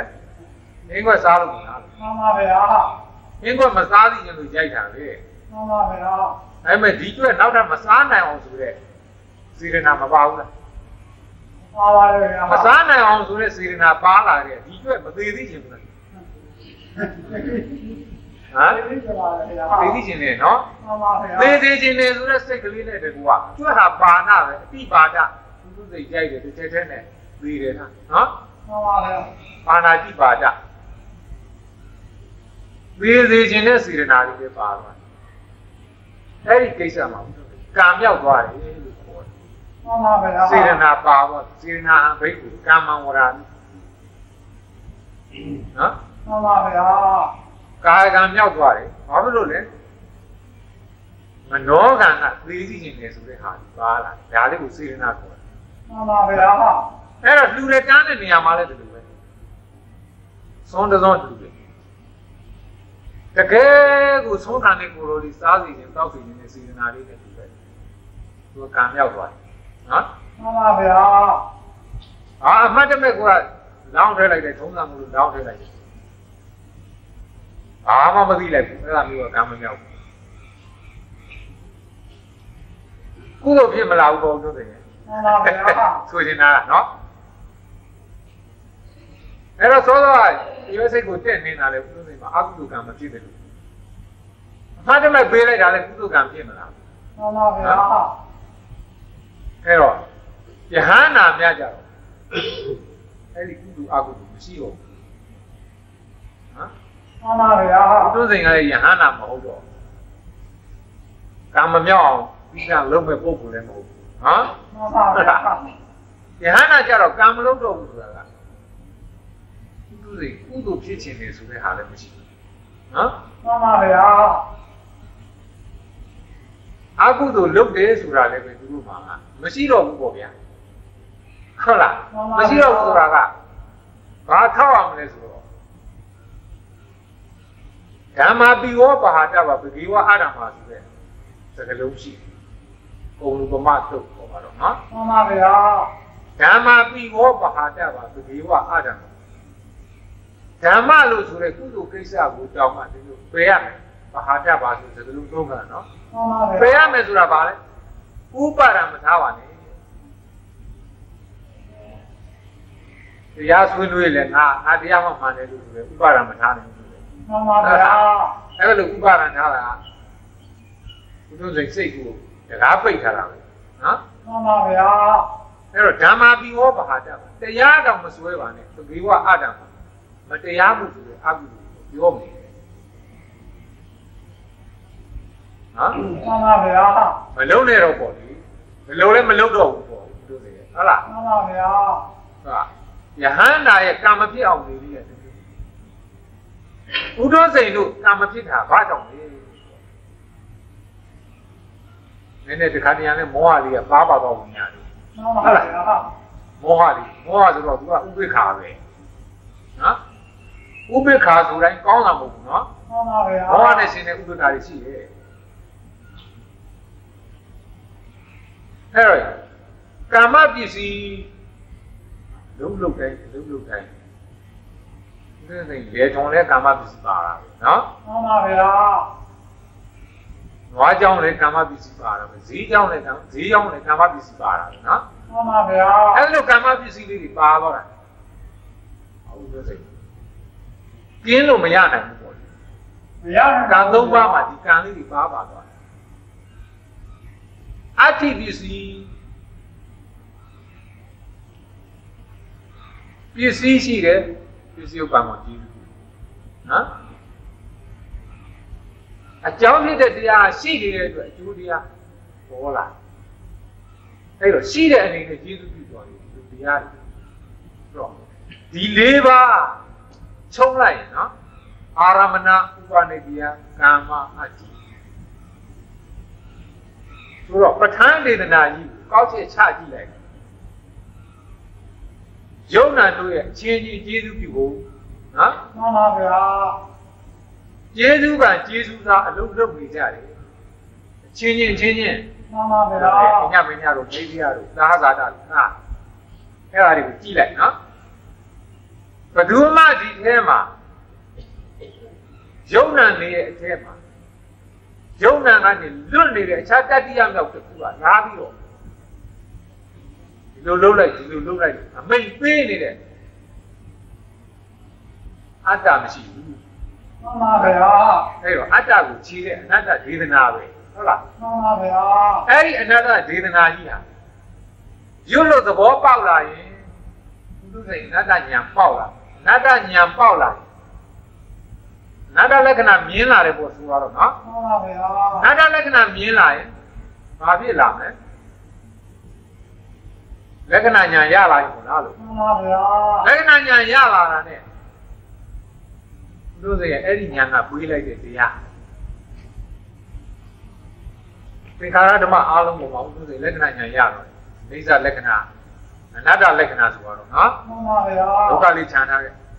ဟုတ်လားမှန်ပါဗျာအိဋ္ဌလက္ခဏာအနတ္တလက္ခဏာလက္ခဏာတစ်ပါးဒါကညာနဲ့တကယ်ဆင်ခြင်လို့ရပါတယ်နော်တဘာဝအဖြစ်အပျက်ကိုသူတို့စိတ်ဆင်ခြင်ပြီးတော့ရတယ်ရသွားရင်သူစိတ်ရင် ဒီမှာဟိုတရားသမားတွေပြောတယ်ပြောရှိတယ်နော်မှန်ပါဗျာခဏကြည်သွားတယ်ဆိုဟုတ်လားပြောကြပါလေဗျာခဏကြည်သွားတယ်ဆိုတာကပညာကလေးတွေတင်းမနေတော့ဘူးနော်မှန်ပါပဗျာညာကလေးတွေတင်းပြီးတော့ပရမတ္ထတရားတွေဖြစ်တာဖြစ်တာကိုမြင်သွားခဏပြောက်သွားတယ်ပရမတ္ထတရားတွေအဖြစ်အပျက်ထဲမှာအခဲမရှိဘူးအဆိုင်အတုံးမရှိဘူးနော် မှန်ပါဗျာအဲ့လိုအဆိုင်ခဲအတုံးမရှိတဲ့အတွက်အဲ့ဒီအဆိုင်ခဲအတုံးလေးတွေပေါ်မှာနားကြတဏှာဆိုတဲ့အကောင်လေးပြောက်သွားနော်မှန်ပါအဲ့ဗျာညာကတဏှာကိုဖြောက်တယ်တဏှာဆိုတဲ့အကောင်လေးဖြောက်သွားတာဖြောက်ပြလိုက်တယ်တကယ်နဲ့သူ့ကြောင့်ဖြစ်လာမယ်ဒုက္ခမရှိတော့ဘူးအဲ့တော့ပဋ္ဌာန်းဒေသနာတော်ဆိုတာဒုက္ခငြိမ်းဖို့နော်မှန်ပါဗျာဒုက္ခသံဃာကလွတ်ဖို့ဘုရားရှင်ဟောတဲ့တရားပဲအဲ့ဒါကို ကိုယ်ရည်ရွယ်ချက်နဲ့ကိုရွတ်ကြတာပဲနော်မှန်ပါဗျာမှန်တာမှားတာကိုဘုရားနာတဲ့ပုဂ္ဂိုလ်ကြီးဆင်ញင်သုံးသပ်ပြီးကြည့်ကြပါ